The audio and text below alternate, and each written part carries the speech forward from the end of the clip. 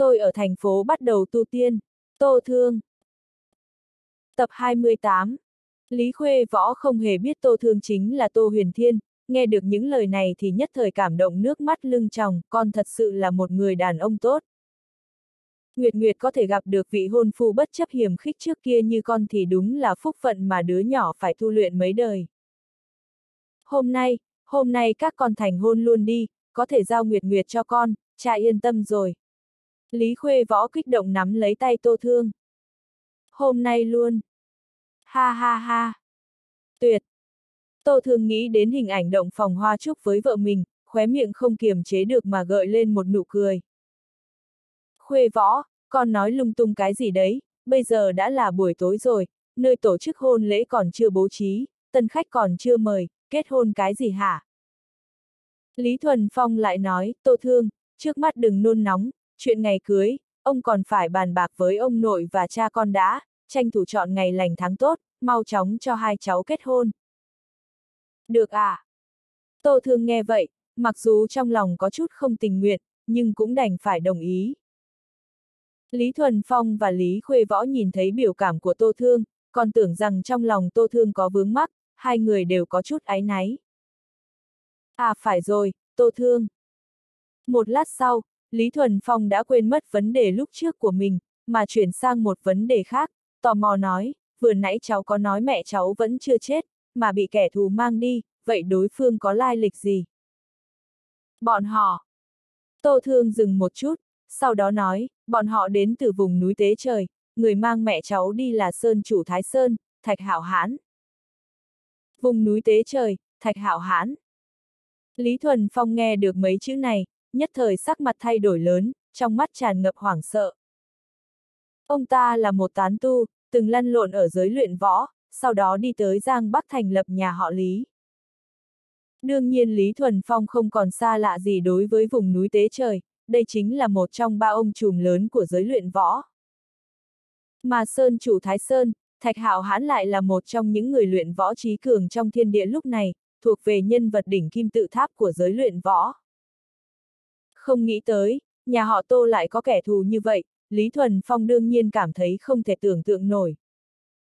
Ông nội Lý, ông không cần lo lắng. Tô Thương thấy vậy, cười nói, chẳng lẽ ông đã quên mất, bây giờ con đã là một người tu chân, con có đủ sức mạnh có thể chống lại vùng núi tế trời. Ừm.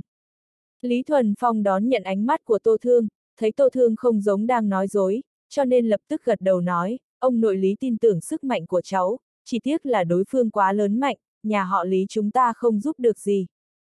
À phải Tô Thương, nhà họ Tô con chẳng qua chỉ là một dòng họ nhỏ trong thành phố mà thôi, sao có thể chọc phải vùng núi tế trời, mà Sơn chủ Thái Sơn mang mẹ con đi làm gì. Sau đó Lý Thuần Phong khó hiểu nói. Chuyện này nói ra thì phức tạp. Tô Thương khẽ cười nói, ông nội lý, cháu không cần nói nhiều cho ông làm gì, ông có thể đến trang viên nhà họ Tô, hỏi ông cháu một chút, ông ấy sẽ nói cho ông biết. Ừm được. Lý Thuần Phong khẽ gật đầu, nghĩ đến Tô Kiền Khôn thì lập tức thở dài một hơi nói, hay, thật đáng tiếc cho ông nội và cha cháu, xương cốt vỡ vụn đã biến thành người tàn phế, cả đời này cũng không có khả năng đứng lên nữa. Ai nói vậy? Tô Thương lại cười nói, ông nội lý, trước khi cháu đến, cháu đã luyện chế sinh cốt đan chữa khỏi cho hai người họ rồi. Ông nội và cha cháu bây giờ tràn đầy sức sống, vô cùng khỏe mạnh. Thật vậy sao? Lý Thuần Phong ngạc nhiên nói. Ừm. Lại còn tràn đầy sức sống. Tô Thương gật đầu đáp lại, chật, hai vị kia còn đánh cháu rất hăng luôn là đằng khác. Thiếu chút nữa ông quên mất, bây giờ cháu là người tu chân, có thể luyện chế được loại tương tự như đan dược thượng cổ thần kỳ. Ha ha ha, khỏi hẳn rồi thì tốt quá. Lý Thuần Phong phản ứng lại, vuốt tròm dâu, thoải mái cười to nói, sau này ông có thể tỉ thí võ công với Tô Bạch Mao rồi. Tỉ thí võ công sao? Tô Thương dừng một chút, sau đó khóe miệng nhếch lên một nụ cười đùa giỡn. Ông nội, là ông và cha cháu đánh cháu trước, bây giờ đừng trách cháu kéo cửu hận cho ông, thiên đạo có luân hồi, cũng nên để ông bị đánh một trận rồi đây. Suy nghĩ đến đây, Tô Thương lập tức nói ầy, ông nội lý, có một chuyện có lẽ ông không biết. Thật ra ông cháu đã sớm đặt chân vào địa tông, thực lực bỏ xa ông mấy con đường. Tô Thương nói tiếp, lúc trước ông cháu tỉ thí với ông toàn là cố ý nhường ông, không hề sử dụng sức mạnh chân chính. Ông nội cháu nói, ông ở trong mắt ông ấy, chỉ là một tông sư nho nhỏ, ông ấy vốn không hề xem trọng ông, đâu, nếu đánh nhau thật thì chỉ cần giơ tay lên là có thể nghiền nát ông. Tô Thương tiếp tục kéo thù hận nói, sở dĩ ông ấy giả vờ ngang bằng với ông là vì muốn đùa giỡn ông, muốn nhìn thấy dáng vẻ chật vật không chịu nổi sau khi ông dốc hết sức mạnh, ông ấy cảm thấy rất buồn cười. Cái gì?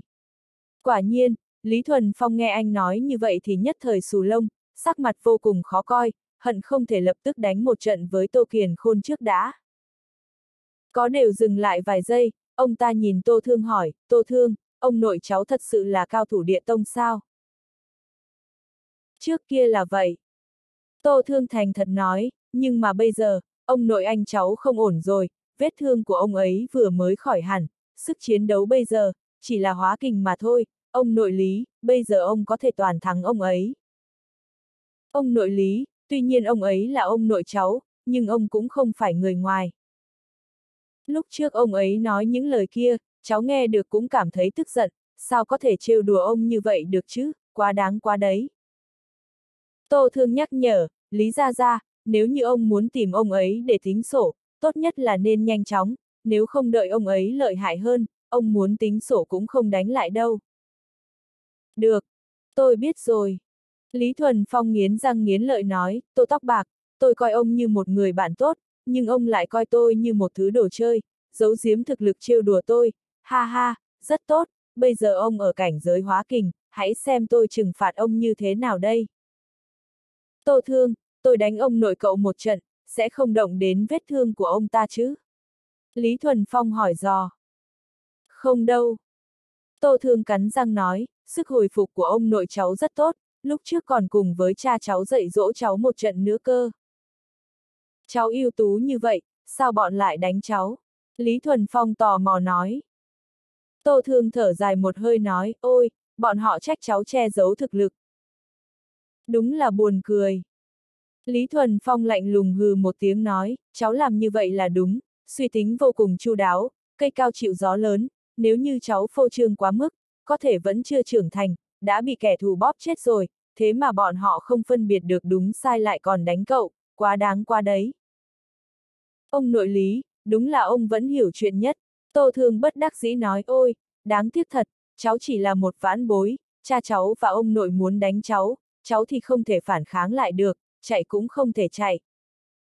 Đứa trẻ ngoan, Tô Thương, cháu đúng là đứa trẻ hiếu thảo.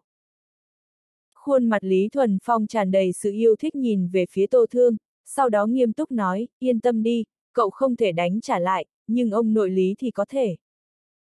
Cháu là con rể nhà họ Lý ông, tuyệt đối không thể bị đánh một cách không rõ ràng được, dù là người đánh cậu là cha và ông nội cháu, cũng không thể được. Lý Thuần Phong bao che cho cháu nói, chờ đấy, ông sẽ đi ngay lập tức đến ngay trang viên nhà họ Tô, thay cậu báo thù. Ông nội Lý, ông đối tốt với cháu thật đấy. Tô Thương cảm kích rưng rưng nước mắt. Cháu à, đừng khách sáo như vậy, ai bảo cháu là chồng của cháu gái ông chứ, nếu ông không bảo vệ cháu, thì ai sẽ bảo vệ cháu đây? Lý Thuần Phong cười dịu dàng, sau đó chợt nhớ tới một chuyện, liền cắn răng nói, Tô Thương, bây giờ cháu mạnh như vậy, có thể đi giết một người đúng chứ? Hả? Giết người sao? Chuyện gì xảy ra vậy, chẳng lẽ nhà họ Lý có kẻ thù sao? Ông nội Lý, giết ai, ông cứ nói cho cháu biết là được. Tô Thương nghiêm túc nói. Tô Huyền Thiên. Trong mắt Lý Thuần Phong tràn đầy sát ý hào hùng nói, kẻ này chắc chắn không phải người lương thiện, tuy cậu ta có ơn với nhà họ Tô, cũng có ơn với nhà họ Lý chúng ta, nhưng tâm tư cậu ta khó đoán, vậy mà lại cùng với Lý Nguyệt. Tóm lại, người này nhất định phải chết. Tô Thương, cháu rất đàn ông, chấp nhận Lý Nguyệt, nhưng nếu muốn bên cạnh Lý Nguyệt thật lâu dài, thì hãy giết Tô Huyền Thiên đi, là sẽ xong hết mọi chuyện. Lý Thuần Phong đề nghị. Giết Tô Huyền Thiên. Mình giết chính mình sao? Cái này. Ông nội Lý. Sau khi Tô Thương kịp phản ứng lại, liền nói, ông yên tâm, từ nay về sau, Tô Huyền Thiên sẽ không xuất hiện nữa đâu. Quả nhiên là vậy. Audio điện tử võ tấn bền. Bây giờ thuộc phân trúc cơ, Tô Thương cũng có nội tình, đương nhiên không cần thiết phải dịch dung thành Tô Huyền Thiên nữa. Nhưng mà, lời này lọt vào trong tai Lý Thuần Phong, thì lại bị đổi thành nghĩa khác, ông ta còn tưởng rằng Tô Thương nghe theo mình, muốn đi xóa sổ Tô Huyền Thiên, để Tô Huyền Thiên hoàn toàn biến mất. Thế là, Lý Thuần Phong hài lòng gật đầu nói, tốt. Ông nội Lý, làm chính sự quan trọng, ông nhanh đến trang viên nhà họ Tô đi. Tô Thương khẽ cười nói, Lý Nguyệt vẫn đang chờ cháu trong phòng, cháu không thể nói chuyện lâu với mọi người được. Cha vợ, tạm biệt ạ. À. Sau khi tạm biệt Lý Thuần Phong và Lý Khuê Võ, Tô Thương liền nhanh chân rời khỏi sân, nhanh chóng tiến về phía phòng của Lý Nguyệt. Mắt nhìn theo Tô Thương về phía. Lý Thuần Phong nhẹ gật đầu, trong mắt tràn đầy thưởng thức, đứa trẻ Tô Thương này, tính cách cũng không tệ nha. Đúng vậy ạ, à, cha, nhà họ Lý chúng ta, có lỗi với cậu ấy quá rồi. Lý Khuê Võ ấy náy nói. Vậy thì đền bù tổn thất cho nó nhiều vào. Lý Thuần Phong không có ý gì khác, rồi lại hỏi, đúng rồi, Khuê Võ, lần trước bảo con đền bù tổn thất tô thương, con làm như thế nào vậy? Con đưa nó đến quán ba cao cấp ngọc chỉ tiên cảnh chỉ tắm một cái, chứ nó không đồng ý cho xoa bóp. Lý Khuê Võ trả lời nói, xem ra tô thương đã thay đổi rồi, chắc nó sẽ không muốn ra vào quán ba nữa đâu. Như vậy không được nha, nhà họ Lý chúng ta từ trước đến nay không thua thiệt người khác, Lý Nguyệt làm chuyện có lỗi với nó, chúng ta nhất định phải đền bù cho nó thôi. Lý Thuần Phong khựng lại một chút, sau đó như nghĩ tới điều gì đó, khẽ cười nói, có rồi, trong trang viên của chúng ta, không phải đang nuôi dưỡng 10 mỹ nữ cực phẩm à. Bọn họ vô cùng xinh đẹp, tất cả đều xinh như hoa như ngọc, lại đều là người luyện võ bán bộ hóa kình. Lý Thuần Phong nói, lúc trước bồi dưỡng bọn họ, là vì muốn làm quà hồi môn cho Lý Nguyệt và Kỳ Kỳ, để phòng sau khi hai đứa gả về nhà chồng phải chịu sự ức hiếp. Bây giờ đúng lúc, đưa hết 10 cô gái này cho Tô Thương, để cho bọn họ phục vụ Tô Thương, dùng cái này để hóa giải vấn đề trong lòng Tô Thương. Lý Thuần Phong vừa cười vừa nói, cứ như vậy, thì nhà họ Lý cũng không hề hổ thẹn với Tô Thương nửa phần rồi. Cha! Lý Khuê Võ do dự nói, 10 cô gái này, có phải hơi nhiều hay không, Lý Nguyệt chẳng qua chỉ có lỗi với Tô Thương một lần thôi mà. Con thì biết cái gì, nhận một chút ân huệ, phải báo đáp gấp đôi, đây là truyền thống tốt đẹp của nhà họ Lý ta. Lý Thuần Phong nghiêm túc nói, huống chi, đứa con trai ưu tú như vậy, tam thê tứ thiếp chả đáng là gì, hơn nữa, 10 người này, cũng không phải thiếp thất, chỉ xem như mấy đứa người hầu thông phòng mà thôi, con cứ làm theo lời cha nói đi. Vâng. Lý Khuê Võ nghe vậy, cũng cảm thấy cha nói cũng có lý. Nhận một chút ân huệ, phải báo đáp gấp đôi. Là truyền thống đạo đức tốt đẹp của nhà họ Lý, không thể bỏ được. Hừ. Sau khi sự ái náy trong lòng qua đi, Lý Thuần Phong lạnh lùng hừ một tiếng, nghiến răng nói, tô tóc bạc, hôm nay ông đây muốn hủy đi xương cốt của ông. Nói xong, Lý Thuần Phong liền thả người rời khỏi nhà họ Lý, thẳng đến Tô Gia Trang vườn mà đi. Về phần Lý Khuê Võ, thì cho gọi 10 thiếu nữ trẻ tuổi sinh như hoa như ngọc này, đem lời của cha hạ lệnh xuống dưới. Chấm chấm chấm. Lúc này, Tô Thương đi tới cửa phòng của Lý Nguyệt, đang chuẩn bị gõ cửa, thì nghe được vợ đang nói thì thầm cùng Lý Kỳ Kỳ. Chị ơi, rốt cuộc chị có từng làm chuyện đó với anh rể không, anh rể lợi hại không ạ? Kỳ Kỳ, em có biết xấu hổ không vậy, lời nói này sao có thể nói ra được chứ, xấu hổ quá đấy. Hi hi, dù sao ở đây cũng không có người khác, chỉ có hai chúng ta, chị nói cho em biết đi, em bảo đảm sẽ không nói với người khác. Không có, không, nhưng trước đó có mấy lần, suýt nữa thì làm chuyện đó rồi, đáng tiếc lại bị quấy dày.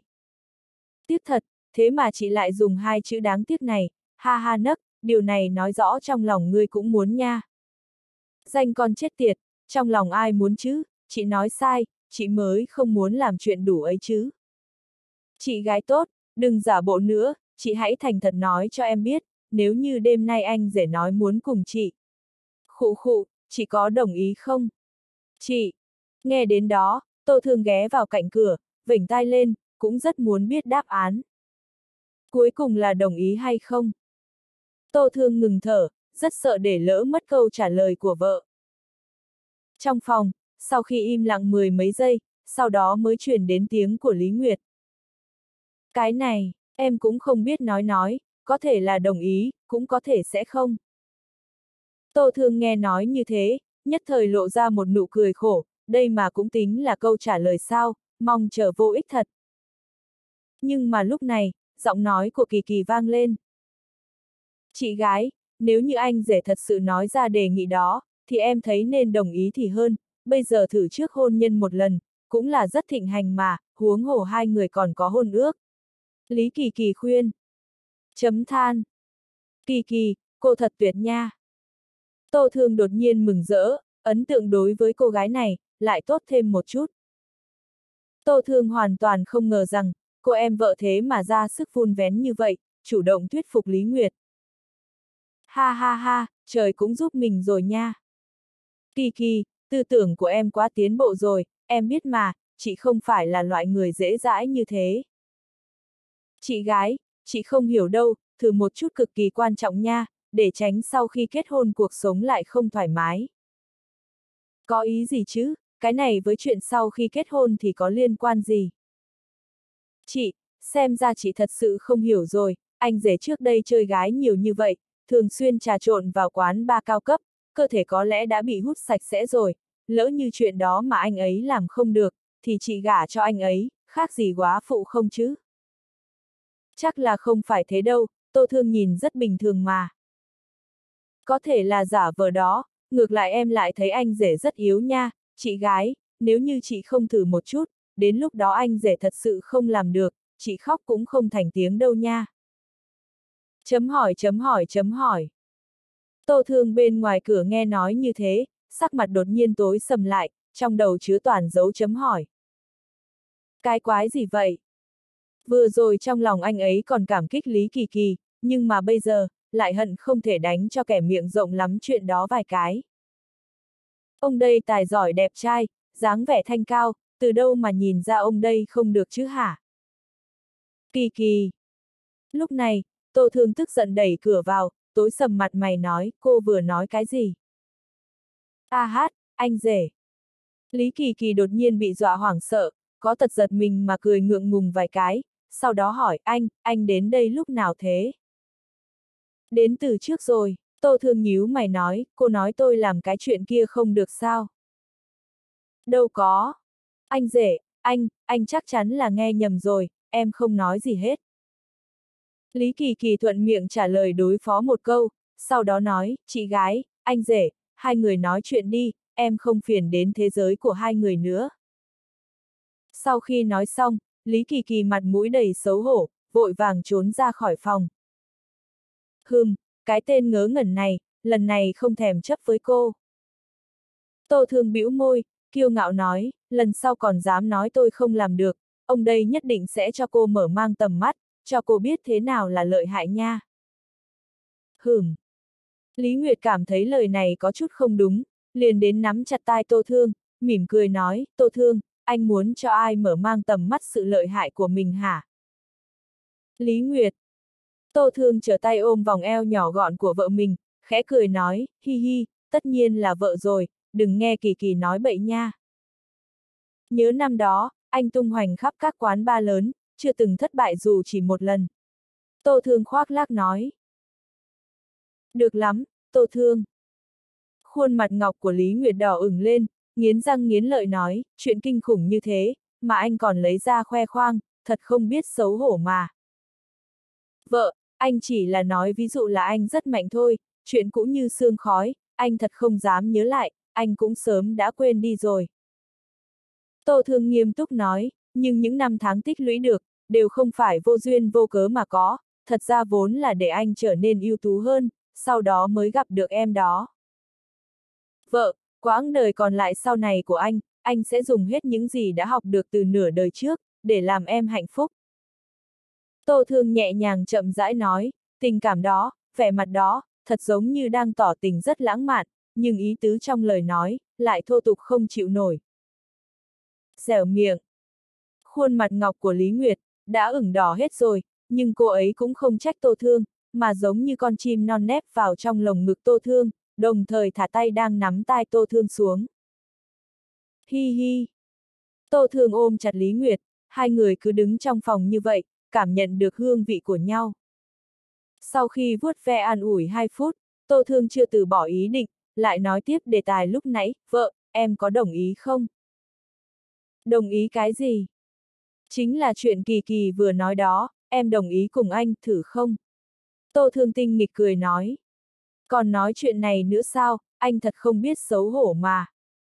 Lý Nguyệt ngước cổ nhìn lên, liếc nhìn Tô Thương một chút, sau đó cười như không cười mà nói, Tô Thương với phẩm chất của anh, em tin anh sẽ không lấy loại yêu cầu này ra nói, chúng ta dù sao cũng chưa kết hôn, chuyện này đối với danh dự của em sẽ có ảnh hưởng không tốt, anh chắc chắn sẽ suy nghĩ cho danh dự của em phải không? Ặc, định chiếu tướng mình đây hả?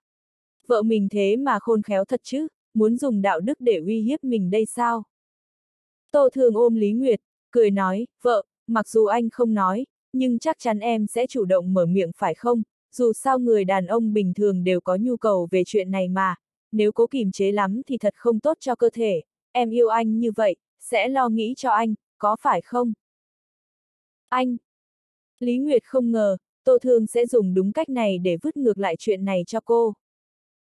Sau khi dừng lại vài giây, Lý Nguyệt vén mấy sợi tóc trên trán, cười xinh đẹp nói, Tô Thương, em sẽ lo cho anh, nhưng anh nhất định sẽ không chấp nhận phải không?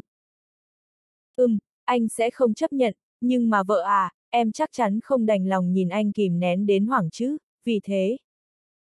Tô Thương đang nói, ai ngờ Lý Nguyệt đưa tay véo lấy phần eo Tô Thương, vừa cười vừa nói, Tô Thương, anh ở đây đang nói chuyện với trẻ con đó hả, thú vị lắm sao?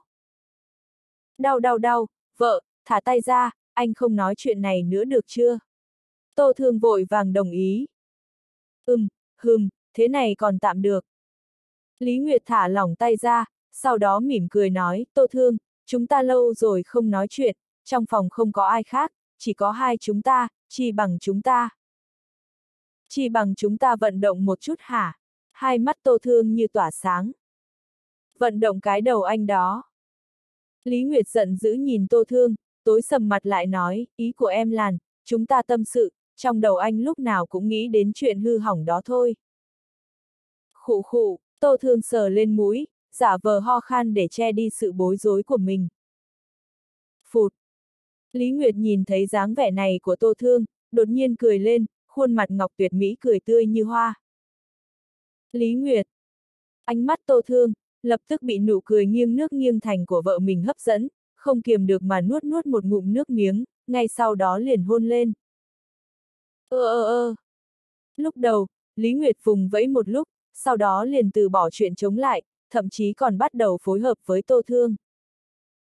Vô chi vô giác, hai cơ thể ở trên sàn nhà, lăn qua lăn lại, từ từ lại lăn lên giường. Đêm đến, vào những ngày đầu thu. Thời gian vừa vặn, gió nhẹ thoang thoảng, tất cả đều giống như một sự sắp xếp hoàn hảo nhất. Đêm khuya, trang viên nhà họ Tô tiếp đón một vị khách không mời mà đến. Tiêu đình cùng 49 thành viên huyết đồ, đã sớm trở về trang viên.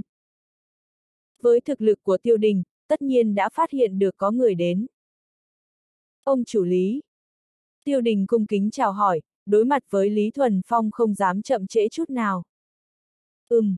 Lý Thuần Phong gật đầu, sau đó hỏi, tiêu đình, tô tóc bạc đang ở mật thất dưới đất à?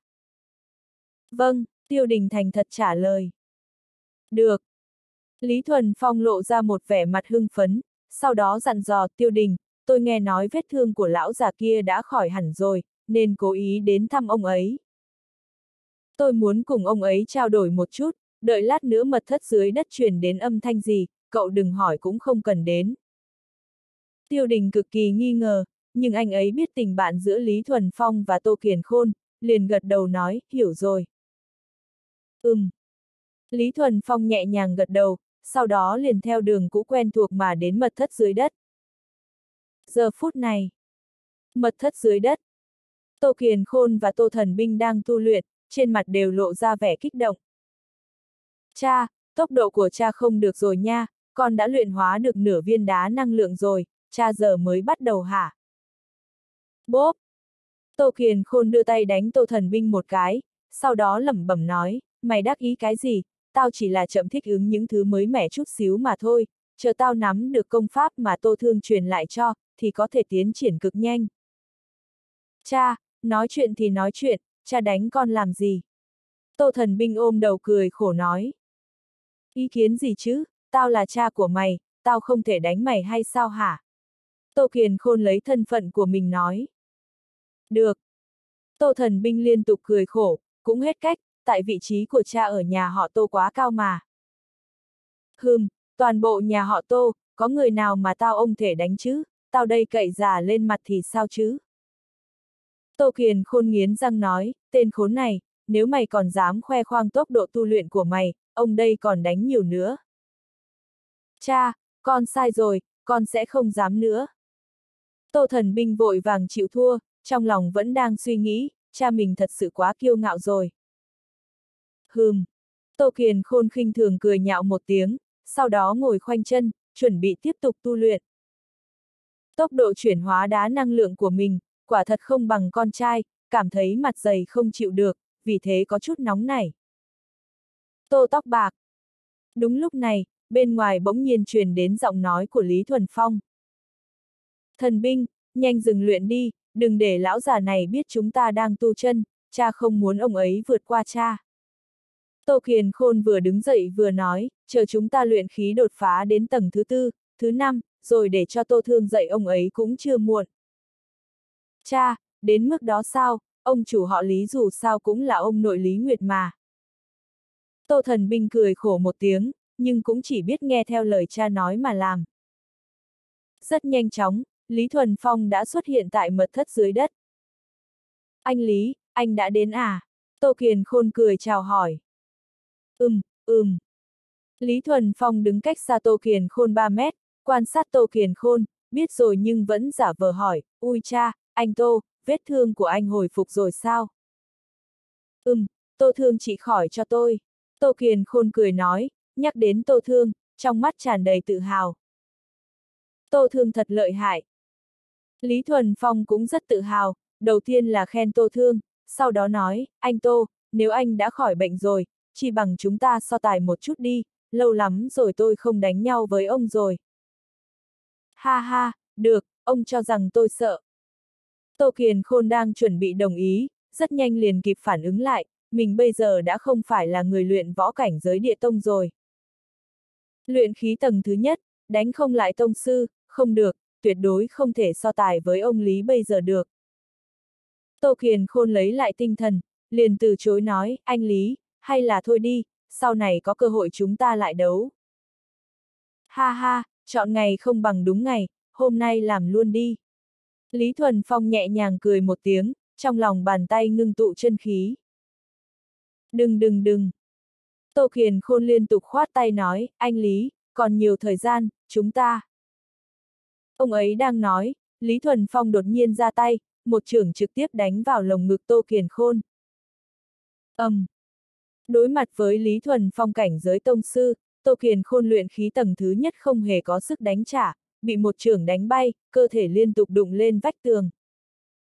Tất nhiên, Lý Thuần Phong ra tay lưu tình, nếu không thì một trưởng này có thể đánh Tô Kiền Khôn hộc máu. Hửm, anh Tô, sao anh không đánh trả? Chân khí của anh đâu, nhanh dùng đến đi. Lý Thuần Phong nhếch miệng lên, cười đùa nói, tôi cực kỳ thích đánh nhau với người có năng lực ngang bằng với tôi. Anh Lý, hôm nay tình trạng của tôi không tốt lắm, không muốn. Tô Kiền Khôn chưa nói hết câu, bàn tay Lý Thuần Phong liên tục đánh vào trên người ông ấy. Thịch thịch thịch, Tô Kiền Khôn bị đánh liên tục lùi về sau, sắc mặt khó coi hơn cắn răng nói, Lý tóc rối, ông đừng được voi đòi tiên nha, ông nghĩ là tôi sợ ông hả? Ha ha, không sợ tôi, thế ông ra tay đi chứ. Lý Thuần Phong tươi cười nói. Hừm. Tô Kiền Khôn hừm lạnh lùng một tiếng, khinh thường nói, cái võ công mèo cào của ông mà thật sự cho rằng là đối thủ của tôi hay sao? Chỉ là cảnh giới tông sư mà thôi, nếu không phải ông đây ra tay lưu tình, chỉ cần ném ra một năng lượng thôi cũng đánh bại được ông rồi, không thì nhiều năm như vậy sao lại cùng ông bất phân thắng bại chứ? Chấm than. Tô tóc bạc, ông cuối cùng cũng thừa nhận, tô thương quả nhiên không lừa tôi mà. Lý Thuần Phong nghe vậy, nghiến răng nghiến lợi nói, những năm gần đây, ông cũng đang trêu đùa tôi, coi tôi là một người ngu ngốc mà đùa nghịch, ông thấy vui lắm sao? Hừm, hôm nay bất luận thế nào, tôi đây cũng muốn đánh với ông một trận, để ông biết tôi đây lợi hại thế nào. Sau khi Lý Thuần Phong nghe Tô Kiền Khôn nói, nhất thời nổi giận, tức tốc phóng đến Tô Kiền Khôn. ầm, um. bang bang, ầm. Um. Sau đó, hiện trường truyền đến tiếng của quả đấm, không ngoài dự tính, người bị đánh đều là Tô Kiền Khôn. Ngoá, Lý tóc rối, ông điên rồi sao, trước đó chúng ta đều đánh nhau sau khi đánh võ mồm mà, không phải là những gì đã nói trước đó sao, Tô Thương đã nói với ông cái gì, sao hôm nay lại điên cuồng đánh với tôi vậy? A hát hát, chứ, ra tay quá tàn nhẫn, nhẹ một chút đi, đừng đánh vào mặt tôi. Thần binh, con trai ngoan của cha, nhanh đến giúp cha một chút đi, hai cha con chúng ta hợp lại dạy dỗ ông ấy. Tô Kiền Khôn bị đánh liên tục kêu khổ, trên mặt nơi thì xanh tím nơi thì sưng vù, vội vàng nhìn vào Tô Thần Binh cầu cứu. Cha, con đột nhiên muốn đi nhà vệ sinh rồi, có thể là lúc nãy con uống nhiều nước quá. Cha dáng chống cự trước đi, chờ con đi nhà vệ sinh xong trở về thì sẽ giúp cha nha. Tô thần binh nghiêm túc nói, sau đó vội vàng rời khỏi mật thất dưới đất.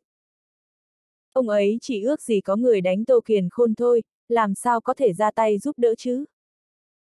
Hơn nữa, hai người cùng luyện khí tầng thứ nhất, cũng đánh không lại tông sư võ đạo mà, vì thế nên lựa chọn rời đi. Tất nhiên, chủ yếu là ông ấy quá quen thuộc với Lý Thuần Phong, cũng biết quan hệ giữa cha và Lý Thuần Phong.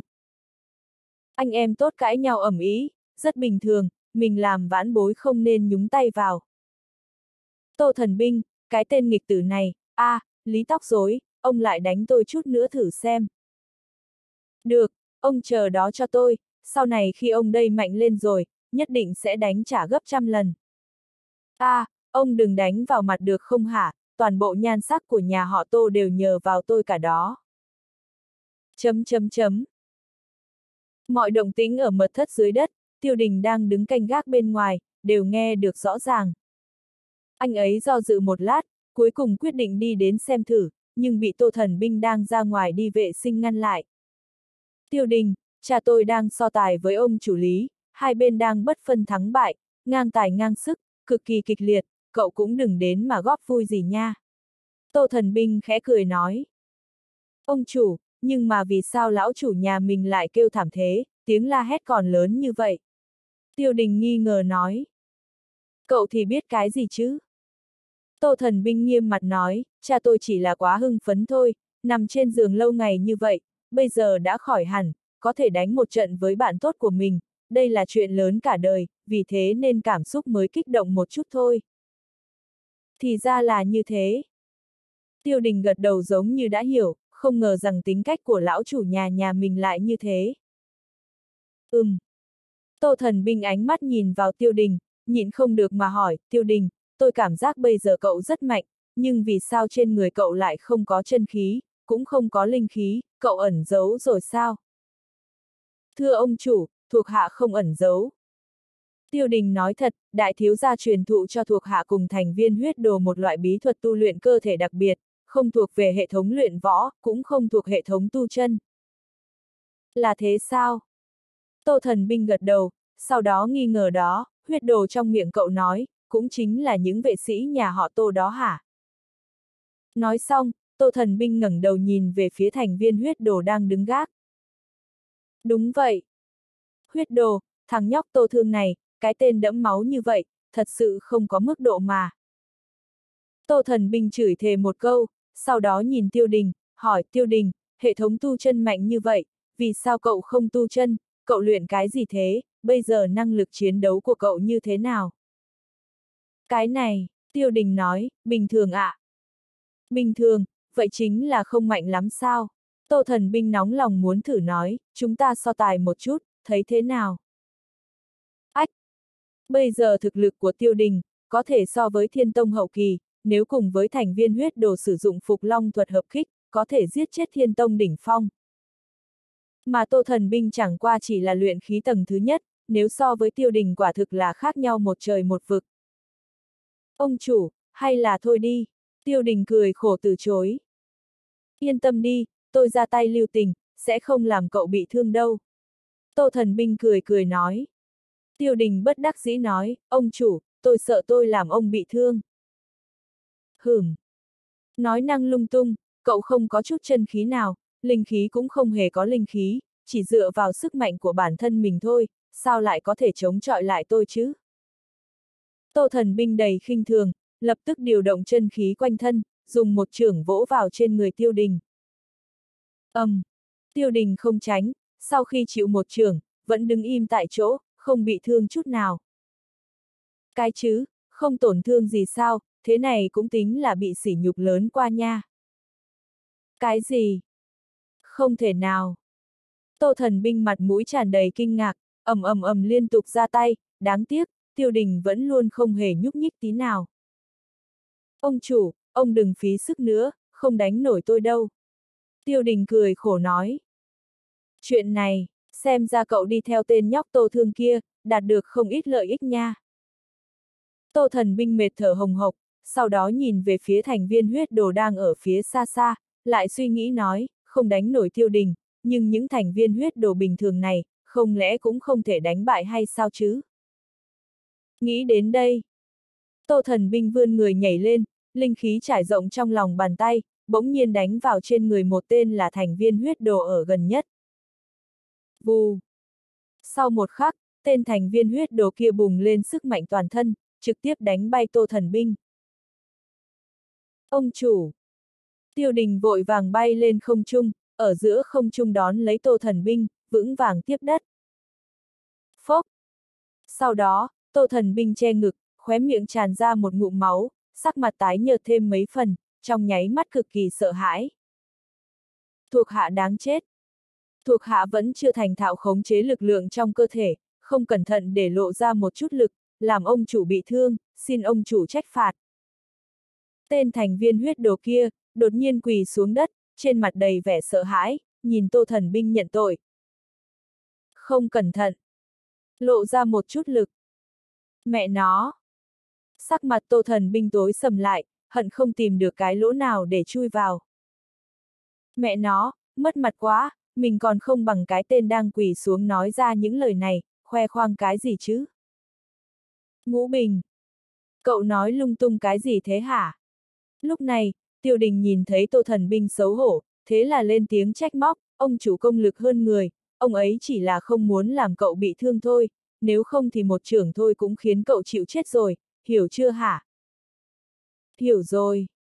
Thành viên của huyết đồ tên Ngũ Bình, đầu óc xoay chuyển rất nhanh, vội vàng nói cảm ơn ông chủ đã không giết. Chấm than. Tiêu đình này, được đó chứ, không hổ là tâm phúc của mình, cũng có mắt nhìn đó chứ. Tô thần binh mặt mũi tràn đầy khen ngợi, liếc nhìn tiêu đình một chút, sau đó ánh mắt nhìn lên người ngũ bình, ngẩng đầu ưỡn ngực, khí thế như muốn giết người, thản nhiên nói, ừm, đứng lên đi, người trong nhà đánh nhau mà thôi, tôi tất nhiên sẽ ra tay lưu tình rồi. Nhớ kỹ, chuyện vừa rồi không được truyền ra ngoài, nếu không thì đừng trách tôi không khách khí. Vâng. Tiêu đình và Ngũ Bình cùng nhau trả lời. Vâng. Cùng lúc này, 48 thành viên còn lại đang ẩn núp trong bóng tối, nhao nhao xuất hiện, quỳ một chân xuống đất, tất cả cùng đồng thanh trả lời. Chấm hỏi chấm hỏi chấm hỏi. Mẹ nó chứ. Những tên này từ đâu ra vậy trời, sao mình không phát giác được. Tô thần binh tức xạ mặt lại, biểu cảm hết sức phức tạp, sau đó liền xị mặt đi ra. Không thể chọc vào, không thể chọc vào được. Bên ngoài thật đáng sợ, vẫn là mật thất dưới đất thích hợp với mình hơn. Giờ phút này, Tô Thần Binh hạ quyết tâm, từ nay về sau sẽ mặc kệ chuyện nhà họ Tô, chính mình phải bế quan tu luyện, chờ tu chân có thành tựu mới ra ngoài. Chấm chấm chấm. Vật đổi sao rời. Vô trì vô giác, đã đến ngày thứ hai. Trang viên nhà họ Lý. Suốt buổi tối, Tô Thương cùng Lý Nguyệt vẫn liên tục, vận động, đến khi mỗi người thật sự kiệt sức mới chịu bỏ qua. Nhưng mà chỉ khổ Lý Kỳ Kỳ thôi. Cô ấy ở tại căn phòng ngay bên cạnh, mặt mày buồn bã đẩy cửa ra ngoài, oán hận nhìn chằm chằm vào cửa phòng Lý Nguyệt, nghiến răng nghiến lợi nói, thật đáng giận, khoe khoang cái gì chứ, chờ em có bạn trai, em cũng mang về nhà, hừm. Két, két. Đúng lúc này, cửa phòng Lý Nguyệt mở ra. Ngay sau đó, mặt mũi tô thương đầy mệt mỏi, vịn tường đi ra, trên mặt đều là vết son môi, trên cổ còn có mấy dấu vết như quả dâu tây đỏ đỏ. Kỳ kỳ, nhìn thấy Lý Kỳ Kỳ, tô thương nhất thời đứng dậy, cười chào hỏi. Ha ha, anh rể. Lý Kỳ Kỳ dừng một chút, sau đó nhịn không được mà trêu chọc nói, tối hôm qua mạnh dữ vậy hả, giờ phải vịn tường à ra ngoài luôn rồi sao? Khụ khụ. Tô thương sờ lên mũi, thoáng có chút lúng túng nói, nói bậy cái gì đó, tôi chẳng qua là cảm thấy mặt tường nhà cô không tệ, vì thế mới sờ soạng một chút, định khi về nhà cũng làm cho nhà tôi loại tường như thế. Anh rể tốt, đừng giả vờ nữa, trong lòng em rất rõ nha, xem ra trận chiến này, người thua là anh rồi.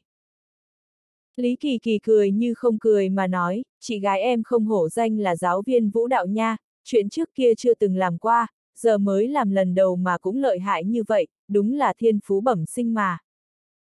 Nói bậy. Tô Thương cảm thấy cần phải giữ gìn tôn nghiêm của mình, liền nghiêm túc nói, cô chỉ nhìn thấy tôi viện tường mà đi ra, lại không để ý đến chuyện chị gái cô đến khả năng bước xuống giường cũng không có nữa rồi sao. Ác ạc. Lý Kỳ Kỳ nghe vậy, nhất thời há to miệng, trợn mắt ngẩn người. Thì ra, người thật sự lợi hại, là anh rể sao? Tiên đế không phải vô địch thật sự, thế gian vẫn còn Lý Nguyệt. Hôm qua bị giày vò một đêm, thật sự làm tô thương mệt muốn chết rồi, đến bây giờ eo và lưng đều bị đau nhức.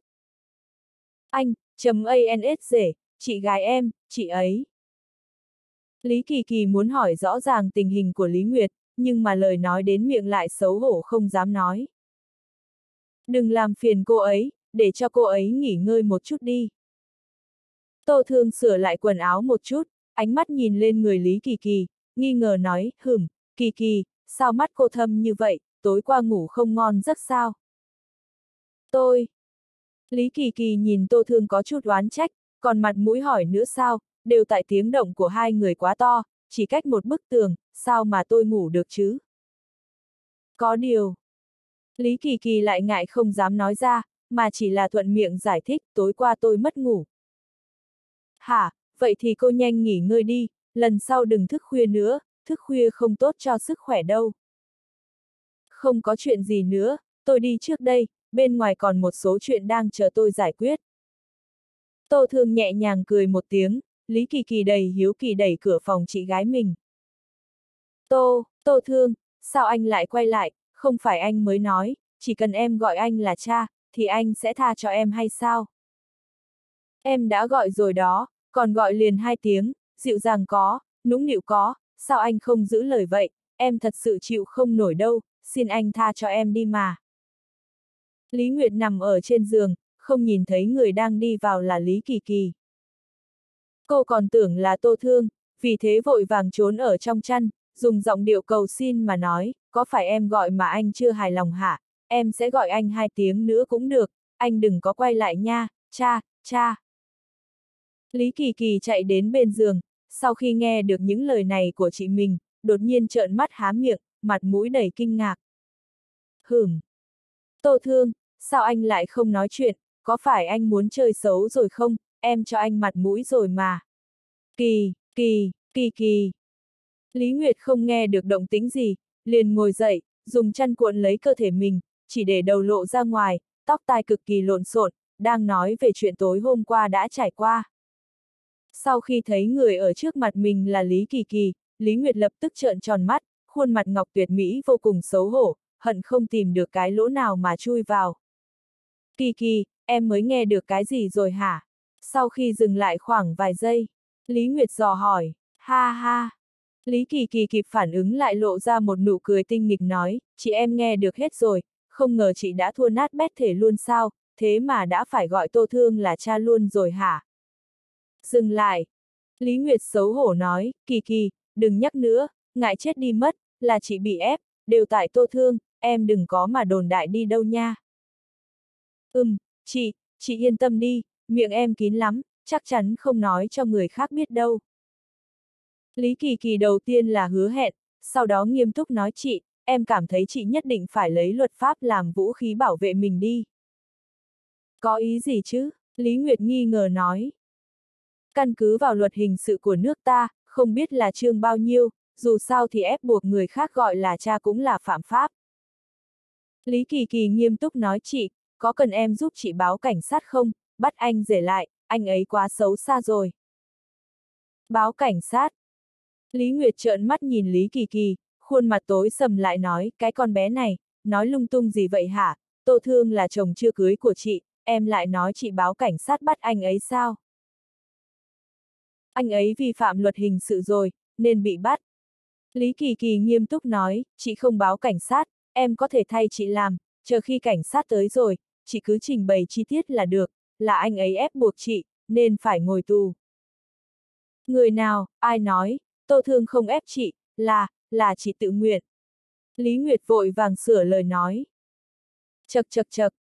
Lý Kỳ Kỳ bĩu môi, tinh nghịch cười nói chị, còn nói sẽ không gả cho Tô Thương đâu, thế mà giờ đã bắt đầu bảo vệ anh ấy rồi, chị thật đúng là một người vợ tốt mà. Lý Nguyệt ý thức được, em gái đang nói đùa với mình, thế là vừa cười vừa nói, được rồi Kỳ Kỳ, em dám trêu đùa chị, để xem chị có đánh em được không. Nói xong, Lý Nguyệt liền định đứng dậy dậy dỗ Lý Kỳ Kỳ một trận, nhưng kết quả lại đau đến nhíu mày. Sau một đêm dày vò, toàn thân cô ấy như dã rời thành từng mảnh, không động đậy còn được, chứ vừa cử động nhẹ chút là đau liền. Anh rể thật là mạnh.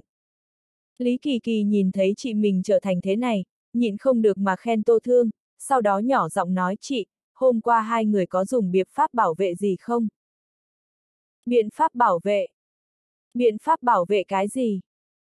Lý Nguyệt dừng một chút, sau đó kịp phản ứng lại, ngại ngùng nhìn thoáng qua Lý Kỳ Kỳ, sau đó trả lời lại, không, không có, đâu có kịp đâu. Là như thế sao? Lý Kỳ Kỳ nói tiếp chị, nếu không có biện pháp bảo vệ, chị rất có thể sẽ mang thai đó. Em nghe nói là mẹ rất vất vả, chị còn trẻ như vậy, mà đã chuẩn bị kỹ càng để làm mẹ rồi sao? Chị! Lý Nguyệt sững sờ, sau đó hỏi, cái này thật sự chị chưa từng nghĩ đến, bây giờ thử nghĩ lại, chị cũng không từ chối, cũng không kỳ vọng quá lớn, tất cả cứ để tùy duyên đi, nếu không muốn đến, muốn cũng vô dụng, nếu muốn đến, có cản cũng không cản được. Có thể cản được mà. Lý Kỳ Kỳ nói, viên Levonorgestrel, tránh thai, khẩn cấp, sau khi làm chuyện đó 48 tiếng. Em thấy trên quảng cáo nói như vậy, chị, nếu chị không muốn làm mẹ, có thể qua tiệm thuốc Tây mua về uống. Lý Nguyệt nghe vậy, mặt mũi tối sầm lại nhìn Kỳ Kỳ, nghiêm túc nói, Kỳ Kỳ, em có vẻ hiểu rất rõ những chuyện này nhỉ, sao hả, gần đây có bạn trai rồi sao?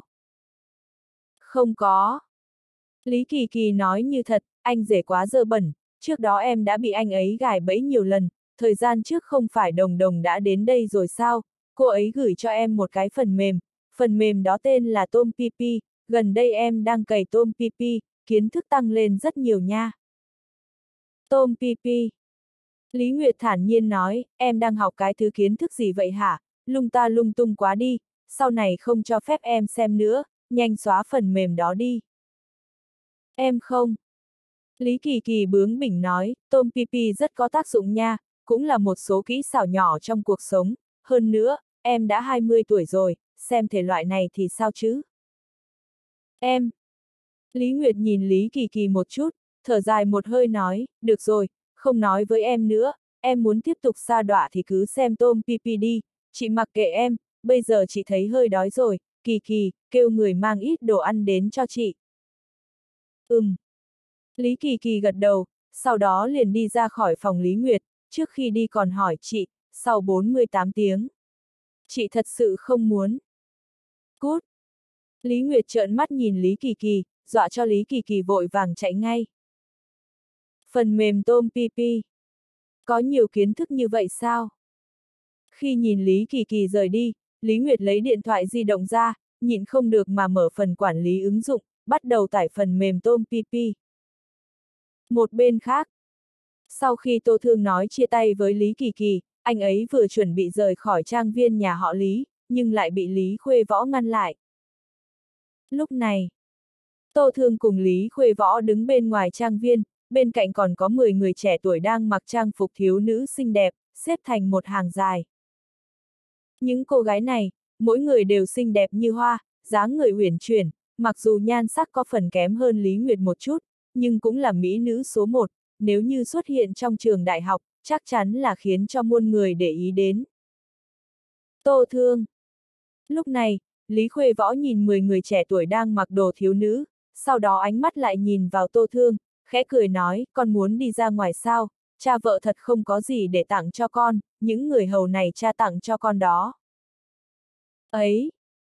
Tô Thương nhất thời sững sờ, cười khổ nói, cha vợ, đây là thứ mà cha đã phiền lòng nghĩ cách để thử con đó hả?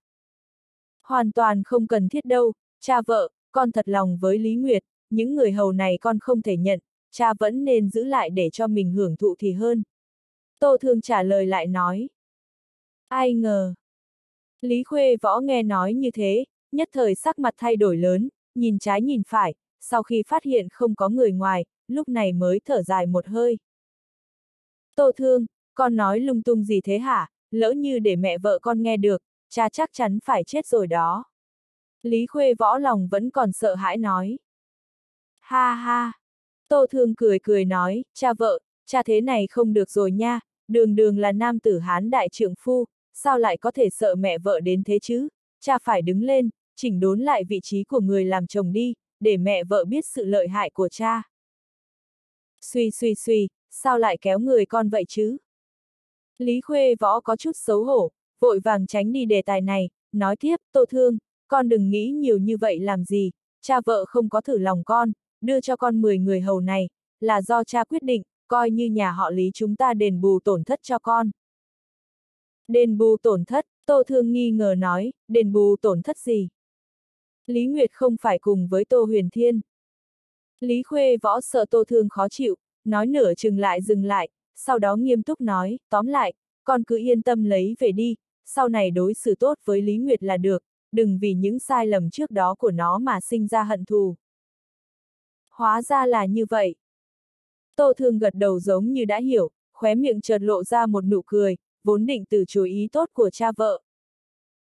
Nhưng mà ngược lại, anh ấy cảm thấy đào tạo thêm một số thuộc hạ là nữ, cũng không tệ. Bây giờ, thuộc hạ của Tô Thương, chỉ có thành viên huyết đồ, bọn họ đều là đàn ông, người thân cận bên cạnh mình thì vẫn có một phần là con gái, ví dụ như Lý Nguyệt. Để thành viên huyết đồ đến bảo vệ Lý Nguyệt, thật sự không tiện lắm, vẫn nên đào tạo mấy thuộc hạ là nữ cũng khá tin cậy hơn. Nghĩ đến đây, ánh mắt Tô Thương nhìn vào 10 người mặc trang phục thiếu nữ này, phát hiện những người này cũng hơn 20 tuổi, sắc đẹp cũng là tốt nhất rồi. Nhất là có một người trong số này mặc trang phục thiếu nữ, da trắng, dáng đẹp, quốc sắc thiên hương, lại không thua gì Lý Nguyệt. Hửm. Bỗng nhiên. Tô Thương khẽ nhíu mày, như đã có phát hiện lớn. Người con gái tuyệt đẹp này, cơ thể tản ra một hàn khí quỷ dị, lúc ẩn lúc hiện. Nếu là lúc trước, Tô Thương không chắc chắn sẽ phát giác được, nhưng bây giờ anh ấy đặt chân đến luyện khí tầng thứ 9 rồi, miễn cưỡng cũng có thể cảm nhận được hàn khí trong cơ thể người con gái này. Có chuyện gì vậy? Tô Thương bước nhanh đến phía trước, trực tiếp nắm lấy cổ tay người nữ nhân này, sau khi tỉ mỉ quan sát, đột nhiên mừng rỡ. Cửu âm tuyệt thể. Đúng là cửu âm tuyệt thể. Tô Thương kích động khác thường, khóe miệng không kìm chế được mà lộ ra một nụ cười. Ở huyền thiên tiên vực, có rất ít người tu chân bẩm sinh bất phàm, có được thể chất đặc biệt. Ví dụ như vương phú quý có quá ly kiếm thể, hay người con gái này là cửu âm tuyệt thể. Với thể chất đặc biệt, cậu ấy chính là người con trai được tuyển chọn, tu luyện tốc độ nhanh chóng kinh người, tương lai thành tựu không thể đoán trước được. Những người có thể chất đặc biệt, đã ít lại càng ít, cả trăm triệu con người ở huyền thiên tiên vực, người có được thể chất đặc biệt này, cũng không quá 100 người. Bởi vì cửu âm tuyệt thể là thích hợp nhất để làm lò luyện thể chất, không có cái thứ hai. Đã từng có một lão quái vật, đau khổ tu luyện vô số năm, cũng không có cách nào đặt chân đến cảnh giới tiên đế. Mà may gặp đúng dịp, ông ta gặp một cô gái có được cửu âm tuyệt thể, sau khi bắt được cô ta, ông ta liền một bước thăng cấp thành thiên đế, chớp mắt đã thành tiên đế trung kỳ, lại bước thêm một bước, nghiêm túc trở thành tiên đế tuyệt đỉnh, chấn áp một thời đại. Thật sự không quá khoa trương mà nói, nếu như cửu âm tuyệt thể xuất hiện tại huyền thiên tiên vực thì các thánh địa lớn chắc chắn sẽ vì cô ấy mà tranh giành nhau, gây nên một trận đấu tranh đẫm máu. Mà cửu âm tuyệt thể, không chỉ có thể xem như lò luyện, bản thân cũng mạnh mẽ phi thường, tu luyện đến đại thành, có thể uy hiếp muôn đời, quét ngang chín phương trời mười phương đất. Tô Thương hoàn toàn không nghĩ đến, ở trái đất vậy mà gặp được cửu âm tuyệt thể trong truyền thuyết. Cô tên là gì? Lúc này, ánh mắt Tô Thương nhìn vào trên người Mỹ nữ xinh đẹp đó. Mỹ nữ xinh đẹp sợ hãi trả lời, Liễu, Liễu huyền âm. Liễu huyền âm, ừm, tên rất hay. Tô Thương gật gật đầu, sau đó cười nói, từ nay trở đi, cô chính là người hầu của tôi, cô có đồng ý không? Nô tài đồng ý. Liễu huyền âm cung kính nói. Chuyện xảy ra đêm qua nhà họ Lý, cô ấy đã biết rồi, trong lòng đối với Tô Thương đầy kính sợ. Dù sao, Tô Đại Thiếu gia Tô Thương, là thanh niên tài giỏi kiệt xuất, có thể xóa sổ bán thần tông, thật sự là quá mạnh rồi. Được. Tô Thương buông lỏng cổ tay, sau đó nhìn về phía Lý Khuê Võ, nhẹ nhàng cười nói, cha vợ, nếu cha đã đề nghị, thì con thật sự không thể từ chối rồi, con cũng không muốn làm cha khó xử, mười người hầu này, nếu con từ chối thì bất kính quá. Ha ha, Tô Thương, con khách sáo vậy làm gì chứ? Lý Khuê võ vỗ vỗ vai Tô Thương, sảng khoái cười nói, chỉ cần con không ngại quá khứ của Lý Nguyệt, đừng nói 10 người hầu này, nếu vì con mà tìm thêm 10 người nữa, cũng có sao đâu chứ. Khụ khụ, cái này thì không cần, có 10 người này là được rồi, quá nhiều thì tinh lực của con không đủ, căn bản không thể để ý hết được. Tô Thương cười nói. Quả thật như thế. Nếu là truyền thụ cho những người này phương pháp tu chân, cần phải hao tốn không ít tài nguyên, 10 người là vừa đủ, nếu nhiều hơn thì Tô Thương chống đỡ không nổi. Có điều. Lý Khuê Võ lại nghe Tô Thương nói đến tinh lực, là chỉ phương diện tinh lực kia, nhất thời lộ ra một nụ cười như hiểu rõ, Tô Thương, nếu như con cảm thấy mình không được, thì ăn nhiều kỳ tử vào, món đồ đó rất hiệu quả đó nha. Ây! Tô Thương dừng lại một chút, sau đó cười trêu chọc nói, cha vợ, cha thích ăn kỳ tử hả? Không thích. Lý Khuê võ bất đắc dĩ cười khổ nói, nhưng mà mẹ vợ con luôn bắt cha ăn, Tô Thương, con chắc chắn đã ăn cà chua rồi, nhưng con chưa từng ăn kỳ tử sao? Cái thứ kỳ tử này, qua tay mẹ vợ con, bất kỳ món ăn gì cũng có thể làm được. Ớt xanh xào kỳ tử, canh trứng kỳ tử, kỳ tử sốt Bắc Kinh, thịt kho tàu kỳ tử. Lý Khuê võ nói qua nói lại, liền oán giận nói, bây giờ cha đi ia, đều thành màu đỏ hết rồi. Ha ha ha! Tô Thương nghe nói như thế, nhịn không được mà cười ra thành tiếng, sau đó an ủi nói, cha vợ, cha nhịn một chút đi, mẹ vợ cũng là muốn tốt cho cha mà. Khi bước vào độ tuổi trung niên thì không thể không ăn kỳ tử mỗi ngày mà, cha vợ, cha nên thành thật hợp tác với mẹ vợ đi nha. Ai ra? Lý Khuê võ thở dài một hơi sau đó như chửi thề nói, nếu như mỗi ngày đều ăn kỳ tử cũng tốt, khoảng thời gian gần đây, mẹ vợ con lại đổi sang đủ thứ khác rồi. Cái gì mà maca đen, saffron, sừng hươu, tóm lại thứ gì bổ sung được, bà ấy cũng mua hết, khiến cho cha bây giờ đi ia đến cái đó cũng đủ màu sắc rồi đây này. Chấm hỏi chấm hỏi chấm hỏi. Đồ bổ tại sao phải kết hợp với màu sắc của phân vậy này, thật gớm quá.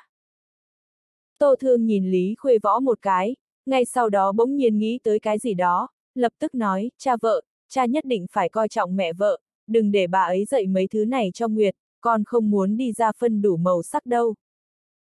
Ha ha, tên nhóc này. Lý Khuê Võ cười cười, sau đó vỗ ngực bảo đảm nói, được, chuyện này cứ để cho cha lo, con là con rể nhà cha, dù cha có chịu khổ sở nhưng nhất định cũng không thể để cho con cũng phải chịu khổ. Cảm ơn cha vợ. Tô Thương khẽ cười nói, cha vợ, nếu như không có việc gì, thì con đi trước nhé. Được, đi chậm thôi. Ánh mắt Lý Khuê Võ rơi trên người 10 thị nữ, ông ta dặn dò, từ nay về sau các cô sẽ không còn là người của nhà họ Lý nữa, đến nhà họ Tô thì phải nghe lời cho Tô Đại Thiếu Gia, chăm sóc tốt cho Tô Đại Thiếu Gia, chờ đến lúc Nguyệt Nguyệt được gả đến nhà họ Tô, thì cũng phải chăm sóc tốt cho Nguyệt Nguyệt, có nghe không? Vâng. Mười người liễu huyền M, cung kính đồng ý. Tiếp theo. Tô Thương lập tức mang theo 10 thị nữ rời khỏi trang viên nhà họ Lý ra, rất nhanh đã biến mất khỏi tầm mắt Lý Khuê Võ. Cuối cùng cũng giải quyết được một nỗi lo lắng của chính mình, có lẽ bây giờ trong lòng Tô Thương cũng đã tan biến rồi. Tặng 10 thị nữ, tảng đá lớn trong lòng Lý Khuê Võ rơi xuống, không còn cảm thấy nhà họ Lý thiếu nợ Tô Thương nữa. Thế nhưng lúc này, Lý Thuần Phong vô cùng lo lắng chạy tới, ông ta nhìn thấy Lý Khuê Võ ở bên ngoài trang viên. Cha! Lý Khuê Võ khó hiểu nói, đã xảy ra chuyện gì vậy, sao cha lại sốt ruột như vậy làm gì? Tô Thương đâu rồi? Sắc mặt Lý Thuần Phong u ám chất vấn. Tô Thương sao? Lý Khuê Võ nhẹ nhàng cười nói, con rể vừa đi rồi. Cha, nói cho cha một tin tốt, chuyện mà cha dặn dò con, con đã giải quyết thỏa đáng cả rồi. Tô Thương thu nhận 10 thị nữ, cậu ta vô cùng hài lòng với 10 thị nữ đó. Trước khi cha đến, thì cậu ta đã mang theo thị nữ rời đi rồi. Lý Khuê Võ cười nói, tặng đi 10 thị nữ này, cuối cùng nhà họ Lý chúng ta cũng không nợ Tô Thương nữa. Cái gì? Con đúng là cái tên đại ngốc mà. Lý Thuần Phong nghe vậy, nhất thời chỉ vào mũi Lý Khuê Võ chửi ầm lên, đây chính là thị nữ mà cha tỉ mỉ tuyển chọn ra từ các nơi khác, còn cứ như vậy mà đưa cho Tô Thương sao? Cha! Lý Khuê Võ khó hiểu nói, rốt cuộc là làm sao vậy, không phải cha nói uống nước nhớ nguồn sao, Nguyệt Nguyệt và Tô Huyền Thiên làm ra loại chuyện này, là chúng ta nợ Tô Thương, tặng cho cậu ta 10 thị nữ để bồi thường. Bồi thường cái đầu con.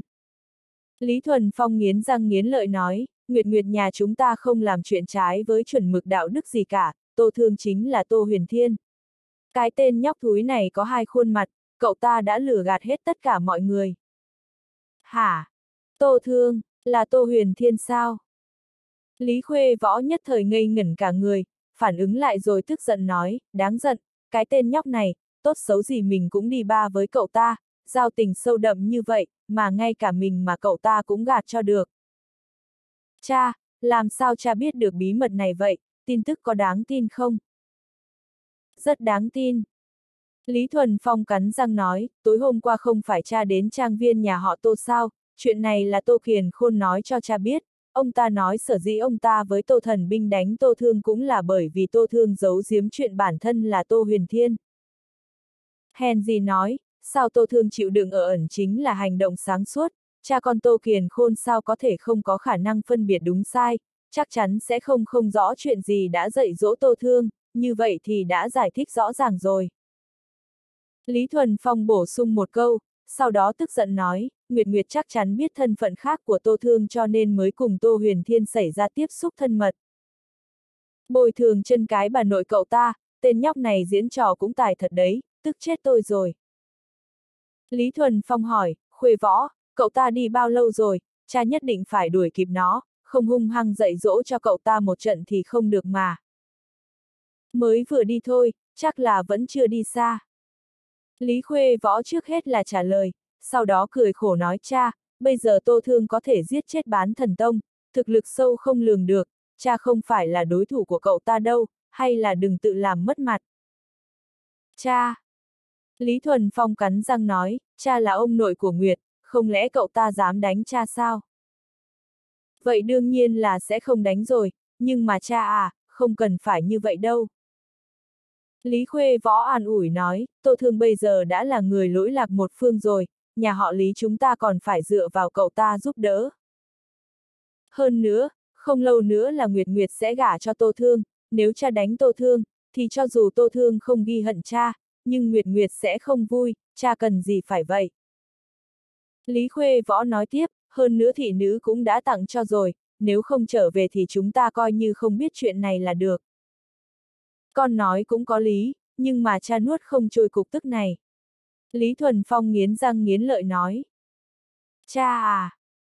Lý Khuê võ nhẹ nhàng cười nói, để con nói cho cha một chuyện, cha nghe xong rồi nhất định sẽ rất vui vẻ, không oán hận Tô Thương vì đã giấu giếm thân phận nữa. Chuyện gì? Lý Thuần Phong nhíu mày nói. Cha, cha còn nhớ rõ chuyện ông nội Tô kết nghĩa với Tô Huyền Thiên không? Lý Khuê Võ cười nói, ông ta chính là ông nội của Tô Thương, bởi vì không biết Tô Thương chính là Tô Huyền Thiên mà mặt dày lôi kéo kết nghĩa với Tô Huyền Thiên, còn lôi kéo Tô Thần Binh gọi Tô Huyền Thiên là chú Huyền Thiên. Tô Thương giấu giếm thân phận, nhà họ Lý chúng ta cũng không mất mặt, mà người mất mặt thực sự chính là ông nội Tô và Tô Thần Binh. Ha ha ha! Sao cha lại quên mất chuyện này được? Lý Thuần Phong nghe vậy, nhất thời thoải mái cười to, nhịn không được nói, Tô Bạch Mau ơi Tô Bạch Mau, kết bái với cháu trai, ha ha, quả thực là buồn cười nhất thiên hạ. Khuê võ à, con khá lắm, thế mà học được cách dùng đầu óc suy nghĩ vấn đề, không tệ không tệ. Lý Thuần Phong nhìn Lý Khuê võ rồi lộ ra một nụ cười hài lòng. Chấm chấm chấm. Lúc này, Tô Thương mang theo 10 thị nữ, anh không trở về trang viên nhà họ Tô, mà là đi tới biệt thự ven sông. Hôm nay, anh có một ít việc phải xử lý, cho nên buổi sáng tỉnh dậy đã tạm biệt Lý Nguyệt. Liên quan đến Lý Nguyệt, Tô Thương đã thận trọng suy xét, cuối cùng quyết định tạm thời không truyền thụ phương pháp tu chân cho cô. Bởi vì, dáng vẻ của Lý Nguyệt và Thanh Hoàng nữ đế trong đầu mình giống nhau y như đúc, quả thực chính là đúc ra từ một khuôn. Trước kia Tô Thương từng thăm dò Lý Nguyệt, cảm thấy cô chính là một người bình thường, có lẽ chỉ là trùng hợp chạm mặt với thanh hoàng nữ đế mà thôi. Nhưng bây giờ, Tô Thương đã đặt chân vào luyện khí tầng 9, dò xét cơ thể vợ mình lần nữa thì lại phát hiện sâu trong linh hồn của vợ mình tản ra một luồng ánh sáng dày đặc. Có lẽ luồng ánh sáng này vô cùng mãnh liệt, nhưng lại bị thứ gì đó che giấu. Khi Tô Thương muốn xâm nhập dò xét một trận, kết quả thần thức của anh lại không hiểu vì sao mà lại bị đánh trở về. Phải biết rằng, Tô Thương chính là linh hồn tiên đế, cho dù sống lại năng lực linh hồn không bằng trước, nhưng cũng sâu không lường được. Nhưng thần thức chính là như vậy, lại không cách nào thấy rõ bí mật sâu trong linh hồn Lý Nguyệt. Bởi vậy, Tô Thương đã buông bỏ thăm dò, đồng thời quyết định không truyền thụ phương pháp tu chân cho vợ mình, miễn cho rút dậy động rừng, tạo ra ảnh hưởng không tốt nào đó. Bây giờ, đối với lai lịch của Lý Nguyệt, trong lòng Tô Thương mơ hồ có một suy đoán lớn gan. Lý Nguyệt, có lẽ có quan hệ nào đó với thanh hoàng nữ đế. Trên thế giới sẽ không có hai đóa hoa giống nhau, như thế cũng chứng tỏ, tuyệt đối không thể có hai người lớn lên giống nhau như đúc, cho dù là song sinh thì cũng sẽ có tranh lệch nhỏ. Mà Lý Nguyệt và Thanh Hoàng nữ đế cũng không thể dùng từ giống để hình dung, vẻ ngoài giống hệt nhau. Mà bản lĩnh của nữ đế, thần quỷ khó lường, ai cũng không đoán ra, nhìn không rõ, nói không ra. Hơn nữa, Tô Thương cảm nhận được một tia hơi thở nữ đế ở sâu trong linh hồn Lý Nguyệt, cho nên trong đầu mới sinh ra suy nghĩ Lý Nguyệt và nữ đế có liên quan đến nhau. Đương nhiên, đây cũng không phải nói Lý Nguyệt chính là nữ đế, cũng không thể nói rõ Lý Nguyệt không phải là nữ đế. Về phần chân tướng cuối cùng là cái gì, bây giờ Tô Thương vẫn không thể biết được, chỉ có cố gắng tu luyện, bước vào cảnh giới cao hơn thì mới có cơ hội thấy được toàn cảnh. Trước đó, Tô Thương không có ý định truyền thụ tài năng tu chân cho Lý Nguyệt. Bởi vì mặc kệ Lý Nguyệt có phải là nữ đế hay không, cô và nữ đế chắc chắn có quan hệ. Nữ đế là nhân vật thế nào? Huyền thiên tiên vực, là thiên kiêu kinh tài tuyệt diễm, nghiền ép cửu thiên thập địa. Cường giả cùng thời đại không ai dám tranh phong với cô ta. Cho dù là vô thượng tiên đế lúc trước đã từng phong quang, nhưng khi thanh hoàng nữ đế bước chân vào tiên đế cảnh, thì cũng phải tránh mũi nhọn, lựa chọn lui về ở ẩn, thành toàn uy danh trí cường của nữ đế. Đương nhiên Tô Thương không muốn nhúng tay vào mưu đồ của nhân vật như vậy, chuyện anh cần làm chỉ là bảo vệ tốt cho Lý Nguyệt. Mặc kệ Lý Nguyệt có phải là nữ đế hay không, bây giờ em ấy chỉ có một thân phận, đó chính là vợ của Tô Thương Anh. Tô Thương cười cười, sau đó không nghĩ nhiều chuyện này nữa, ánh mắt rơi trên người mười liễu huyền em mờ. Mười thiếu nữ trẻ đẹp này sở hữu nhan sắc tuyệt vời, và lại đều là xử nữ, truyền thụ công pháp gì cho bọn họ đây. Sau một hồi trầm tư, linh quang trong đầu Tô Thương chợt lóe, rất nhanh đã có chủ ý. Huyền Thiên Tiên vực có một thánh địa toàn bộ đề là nữ tu, tên là Giao Trì. Thánh địa Giao Trì tồn tại đã vô số năm tháng, là một trong 10 thánh địa trí cường của huyền thiên tiên vực, bên trong thâm hậu, không ai dám chọc vào. Đã từng. Lúc Tô Thương còn chưa trở thành huyền thiên tiên đến, anh đã xảy ra một chút tranh chấp nhỏ với thánh nữ của thánh địa giao trì, cuối cùng ẩm ý đến mức khó chịu. Trong cơn tức giận, Tô Thương đánh ngất thánh nữ, hơn nữa còn dùng thủ đoạn cao nhất mạnh mẽ phá vỡ bảo vệ ở nơi sâu trong linh hồn thánh nữ, trộm đi công pháp bất truyền của thánh địa giao trì, Quảng Hàn Quyết. Không chỉ như thế, liên quan đến bí thuật lớn mạnh của thánh địa giao trì, Tô Thương chuyển toàn bộ vào trong đầu mình. Thánh địa giao chỉ biết được việc này đã vô cùng tức giận, cử ra mấy cao thủ, muốn bóp chết Tô Thương, nhưng kết quả lại bị Tô Thương giết ngược lại, cuối cùng lại không giải quyết được. Chuyện này, ở huyền thiên tiên vực làm giấy lên một hồi sóng to gió lớn, khiến cho thánh địa giao chỉ bị mất sạch mặt mũi. Nhưng không còn cách nào khác, Tô Thương khi đó thủ đoạn thông thiên, năng lực chạy trốn lại càng tuyệt vời. Sau khi Tô Thương đảm bảo sẽ không truyền phương pháp Quảng Hàn Quyết cho người của huyền thiên tiên vực, Thánh địa giao chỉ cũng không muốn lãng phí quá nhiều tinh lực trên người Tô Thương, cho nên lựa chọn không đuổi giết nữa. Chấm chấm chấm. Quảng Hàn Quyết. Kết thúc hồi ức, Tô Thương khẽ cười nói, công pháp này không hấp thu linh khí, tu luyện dựa vào âm hàn chi khí, có thể mượn ánh trăng và với một ít trí bảo có thuộc tính âm hàn để nâng cao cảnh giới. Những thứ khác tạm thời không để nhắc tới, theo địa cầu mà nói, tu luyện công pháp này quả thực được trời yêu ái. Tô Thương cười nói, bởi vì địa cầu cách trăng sáng chỉ có hơn 30 vạn cây em, so với huyền thiên tiên vực thì không chỉ gần gấp đôi. Mặc dù linh khí địa cầu chịu sự ngăn chặn của thiên đạo, nhưng sức mạnh mặt trăng lại không hề suy yếu chút nào. Nếu 10 người liễu huyền M tu luyện Quảng Hàn Quyết, có lẽ sẽ tiến triển vô cùng nhanh, nhanh chóng trúc cơ cũng không chừng. Nhất là liễu huyền M, cơ thể mang cửu âm tuyệt thể, Quảng Hàn Quyết quả thực là thiết kế riêng cho cô ta. Có điều Quảng Hàn Quyết là bí mật bất truyền của Thánh địa Giao Trì, mức độ quý giá có thể tưởng tượng được, anh nhất định phải bảo đảm 10 người liễu huyền M phải trung thành với anh tuyệt đối, như thế mới có thể truyền Quảng Hàn Quyết cho bọn họ. Nghĩ đến đây, Tô Thương nhìn về phía nhóm người liễu huyền âm, nhẹ nhàng mở miệng nói các cô muốn có được sức mạnh lớn mạnh sao? Muốn. Mười người liễu huyền âm không hẹn mà cùng trả lời, giọng nói trong trẻo quyết đoán. Để trở nên mạnh mẽ, thì chuyện gì các cô cũng bằng lòng làm chứ? Tô Thương hỏi tiếp. Soạt. Nghe anh nói như vậy, 10 cô gái xinh đẹp trong phòng khách nhất thời do dự, những gương mặt xinh đẹp đều hơi phiếm hồng. Rất rõ ràng, các cô đã hiểu lầm rằng Tô Thương muốn cơ thể của các cô, cho nên mới lộ ra biểu cảm như vậy. Tô Đại Thiếu Gia Lúc này, Liễu Huyền M nhìn Tô Thương, gương mặt xinh đẹp ửng đỏ nói, những người chúng tôi vốn dĩ là thị nữ hầu phòng của thiếu gia, chỉ cần thiếu gia đồng ý thì có thể yêu cầu chúng tôi hầu hạ bất cứ khi nào, cho dù thiếu gia không truyền thụ võ công cho chúng tôi thì chúng tôi cũng sẽ không từ chối. Lời này vừa nói ra, chín cô gái còn lại lúc này mới kịp phản ứng lại, vội vã nói theo. Các cô hiểu lầm rồi. Tô Thương nhẹ nhàng cười nói, tôi không có hứng thú quá lớn với cơ thể các cô. Ý của tôi là, nếu như các cô muốn trở nên mạnh mẽ thì hãy đi theo làm người của tôi, tùy ý cho tôi sai khiến. Tô Đại Thiếu Gia Liễu huyền M nghe vậy, thoáng có chút ngượng ngùng nói, như này không phải là muốn chúng tôi hầu hạ thiếu gia sao.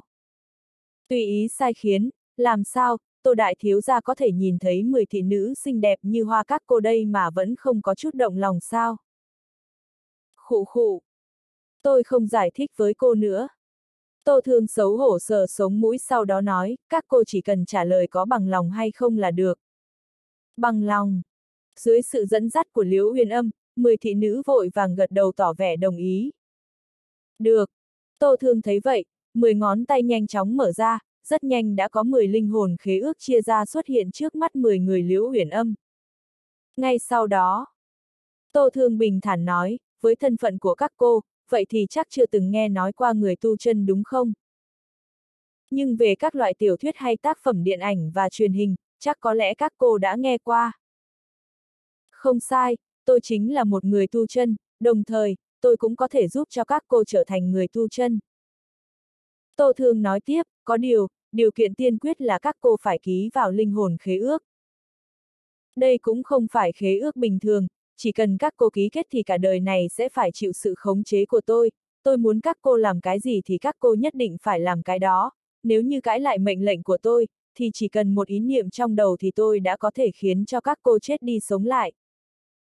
Tô Thương nghiêm mặt nói, nếu như các cô muốn trở nên mạnh mẽ, thì bây giờ có thể nhỏ ra một chút máu ở đầu ngón tay, đưa tay đặt lên khế ước trước mắt các cô.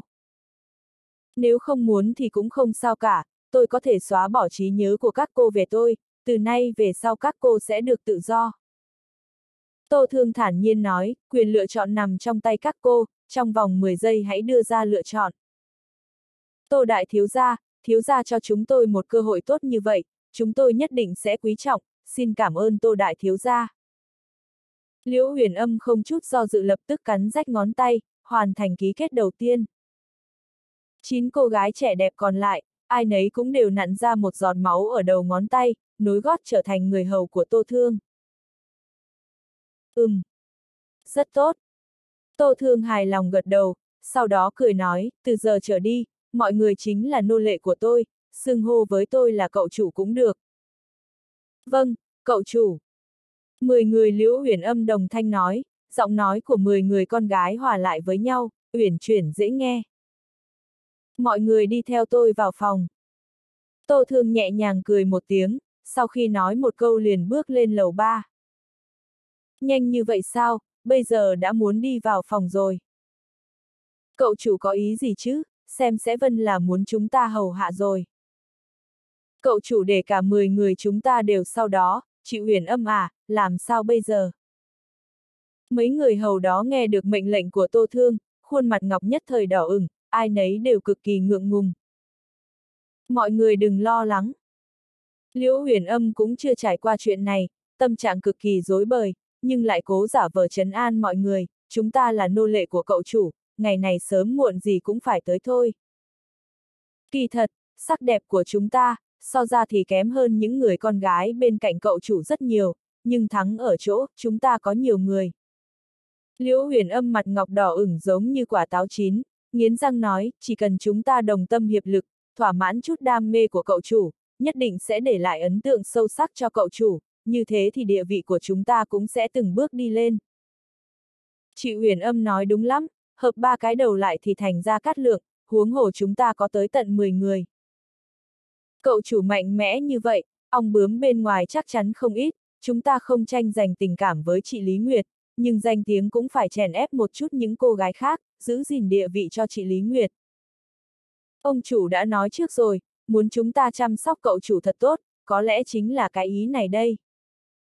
Chỉ cần chúng ta có địa vị, mới có thể giúp tiểu thư Lý Nguyệt được tốt hơn, có chúng ta ở đây, những đứa con gái khác đừng có mơ mà tiếp cận cậu chủ. Nhất thời, đông đảo những người hầu này đều đồng ý với lời nói của Liễu Huyền M, tất cả đều quyết tâm liều mạng, chuẩn bị sẵn sàng để hiến thân cho cậu chủ rồi. Cũng không biết cậu chủ có làm luôn ở trong phòng hay không, 10 người chúng ta ở cùng một chỗ, không biết cậu chủ có sợ hay không nữa. Liễu huyền âm ngượng ngùng cười cười, sau đó liền dẫn 9 người còn lại đi theo tốc độ của Tô Thương. Với thực lực của Tô Thương, tất nhiên có nghe được Liễu huyền âm và đám người đó nói chuyện với nhau. Lại vì do linh hồn khế ước, thậm chí đến 10 người Liễu huyền âm trong lòng suy nghĩ thế nào đều nắm rõ hết. Bọn nhà đầu này, thật sự xem ông đây là sói đói hay sao vậy, ông đây có đến mức quá đáng thế không chứ? Tô Thương cười khổ lắc đầu, nhưng cũng không giải thích gì, dù sao giải thích cũng không rõ được, chỉ sợ càng giải thích lại càng hiểu nhầm hơn. Rất nhanh chóng, một đoàn người xuất hiện tại căn phòng của Tô Thương. Tô Thương từng ở đây bố trí tụ linh trận, nên định ở đây trợ giúp 10 người liễu huyền M đặt chân đến tu chân. Trước đây có từng nhắc qua, tu luyện Quảng Hàn Quyết không cần dùng đến linh khí, nhưng cũng không phải là không thể dùng linh khí. Chỉ có điều, nếu mà so sánh thì hiệu quả của linh khí không có năng lượng tốt như trí hàn. Vì thế, Tô Thương không có ý định để mấy người liễu huyền âm hấp thu đá năng lượng, nhưng tụ linh trận thì vẫn cần phải bố trí. Tụ linh trận, không chỉ có thể hấp thụ linh khí, chỉ cần thay đổi nhẹ một chút thôi thì có thể tập hợp được linh khí của ánh trăng. Vì thế, sau khi đi vào phòng, Tô Thương không trần chờ mà lập tức thay đổi tụ linh trận trước đó, rất nhanh cũng đã thành công. Liễu huyền âm, cô ngồi lên giường, khoanh chân lại. Tô Thương phân phó nói. Bọn người liễu huyền âm, sau khi vào phòng, nhìn thấy Tô Thương mặt mũi đầy nghiêm túc, liền biết bản thân lúc nãy đã suy nghĩ nhiều rồi, vì thế cũng nghiêm túc theo, đứng bên cạnh không nói một lời, ánh mắt tràn đầy kính sợ. Vâng. Lúc này, khi nghe được mệnh lệnh của Tô Thương, Liễu Huyền Âm liền cung kính trả lời, sau đó liền làm theo lời Tô Thương nói. Sau đó, Tô Thương chứng chạc đàng hoàng, lấy ra một chồng đá năng lượng, ngón tay cấp tốc bấm huyệt, bố trí tụ linh trận. Với cảnh giới bây giờ của anh ấy, loại trận pháp hạ cấp như bố trí tụ linh trận này, chỉ cần thời gian rất ngắn thôi. Khoảng 10 phút đồng hồ, một tòa tụ linh trận được hình thành. Cô, ngồi vào đây. Tô Thương phân phó một người hầu khác. Tuân lệnh. Người hầu này tất nhiên một mực cung kính đáp ứng. Tiếp theo sau. Tô Thương bắt trước làm theo, từng tòa tụ linh trận xuất hiện trong phòng. Ngay từ đầu, anh ấy đem tụ linh trận bố trí trên giường, nhưng mà có điều ngồi trên giường không được, nên bố trí xuống đất. Hơn một tiếng sau, 10 tòa tụ linh trận được bố trí thành hình, tản ra một luồng ánh sáng nhạt. 10 người liễu huyền âm, ngồi bên trên mỗi tụ linh trận khác nhau, ánh mắt nhìn về tô thương tràn đầy kính sợ, đồng thời có một số còn mong chờ. Sau đây, tôi muốn truyền thụ cho mọi người pháp môn tu chân, mọi người chuẩn bị sẵn sàng chưa? Tô thương lộ ra một nụ cười, sau đó lần lượt hướng vào trong đầu của 10 người này, thổi vào một chùm ánh sáng, được, mọi người theo chùm ánh sáng này trong đầu, ghi chép lại phương pháp tu luyện Quảng Hàn Quyết, còn có bí thuật giao chỉ thánh địa cường đại, cùng một số tri thức tu chân. Nhắc nhở mọi người một chút, Quảng Hàn Quyết là một loại công pháp cường đại, xem như mộ tổ bốc lên khói xanh rồi. Mộ tổ bốc lên khói xanh, ý chỉ người nào đó đột nhiên có được chuyện gì đó rất may mắn, có được thành công. Cảm ơn cậu chủ, mấy người liễu huyền âm, kích động cảm ơn. Ừm. Tô Thương nhẹ nhàng gật đầu, sau đó nói, Quảng Hàn quyết tốt nhất lấy ánh trăng để nhập đạo, bây giờ thời gian vẫn còn sớm, các cô cứ tiêu hóa hết những thứ trong đầu đi đã, chờ đến đến, các cô lại hấp thụ lực lượng ánh sáng của ánh trăng mà tu luyện.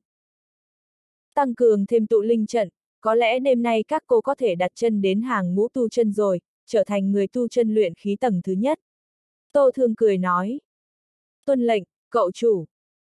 Mười mỹ nữ xinh đẹp, không hẹn mà cùng nhau trả lời. Ừm, bắt đầu đi. Tô Thương cười gật đầu, sau đó liền thúc giục mọi người nhanh chóng tiêu hóa hết những ký ức đã được truyền thừa. Mười người hầu này, tất nhiên làm theo. Còn về Tô Thương, thì đi đến bên cửa sổ, bấm số điện thoại hứa Sơn Cư. Ngày đầu tiên về đến Giang Bắc, anh ấy đã để hứa Sơn Cư đi đến Sơn Trang Y Vân rồi. Bây giờ hứa Sơn Cư, đã đặt chân đến Thiên Tông Đỉnh Phong, mặc dù không thể so sánh được với bán thần Tông, nhưng mà dùng để mật báo tin tức thì vẫn làm được. Cậu chủ, sau khi điện thoại được kết nối, liền truyền đến âm thanh đầy cung kính của hứa Sơn Cư. Ừm. Tô Thương gật đầu, sau đó dò hỏi, hứa Sơn Cư, tình hình ở Sơn Trang Y Vân thế nào rồi?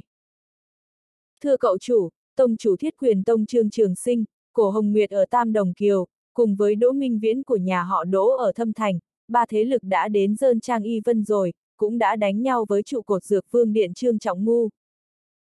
Hứa Sơn Cư cung kính nói, có điều, mục tiêu của chúng là tư nguyên của dược vương điện, nên không ra tay tàn sát, chỉ có một mình Trương Trường Sinh ra tay thôi, sau khi làm Trương Trọng Ngu bị thương, liền để lại một lời uy hiếp, sau đó rời đi.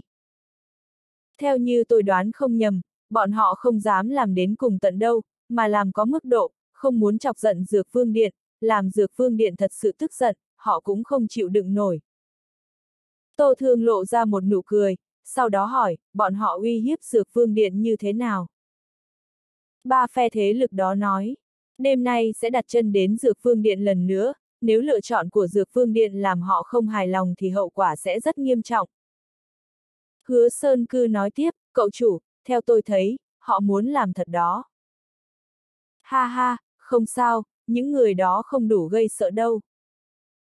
Tô Thương cười cười, sau đó hỏi, đúng rồi, ông vừa mới nói, Trương Trọng Ngu bị thương, vết thương thế nào rồi?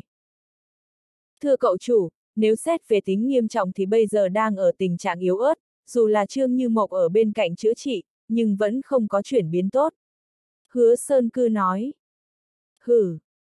Tô Thương nghe vậy, thất thời nhíu mày nói, vì sao mà ông không nói sớm cho tôi biết.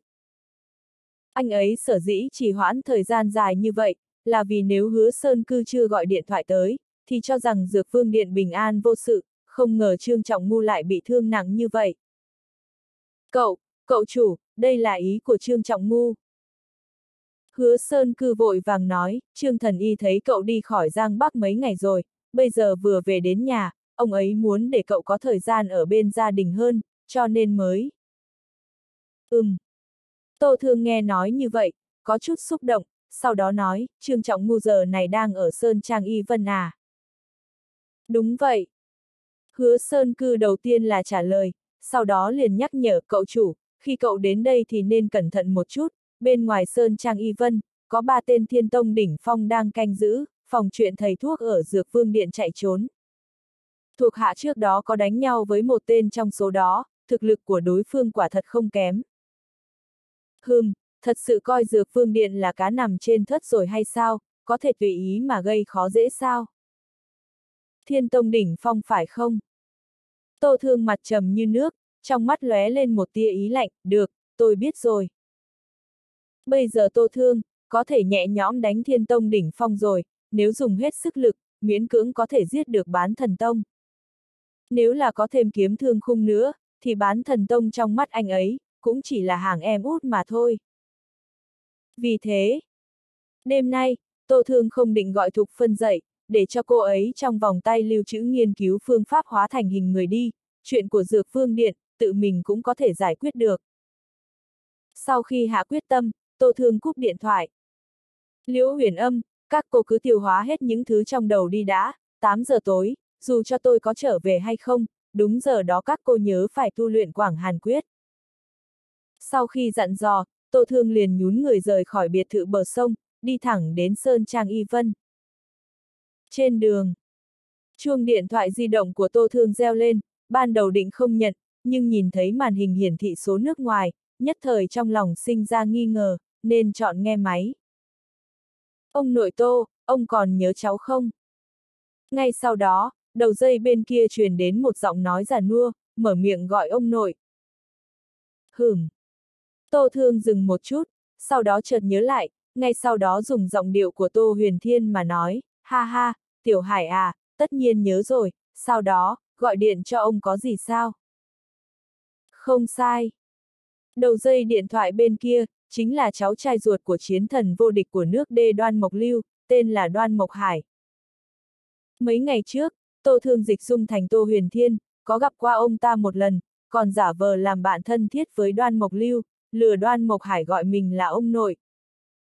Ông nội Tô. Lúc này, Đoan Mộc Hải cung kính nói, không có gì hết, là do cháu đã đến nước hoa rồi, vì thế nên mới gọi điện thoại cho ông, muốn hỏi thăm thử ông có thời gian không, định mời ông ăn bữa cơm. Đứa cháu ngốc này, đi vào nước hoa thì chắc chắn phải là ông mời cháu ăn cơm chứ. Tô Thương cười cười, sau đó nghi ngờ nói, đúng rồi, Tiểu Hải, cháu đến nước hoa làm gì? Là thế này, trận chiến ở biên giới phía Nam, nước đê chúng ta tổn thất nặng nề, tất cả là tại nhà họ Tô ở Giang Bắc.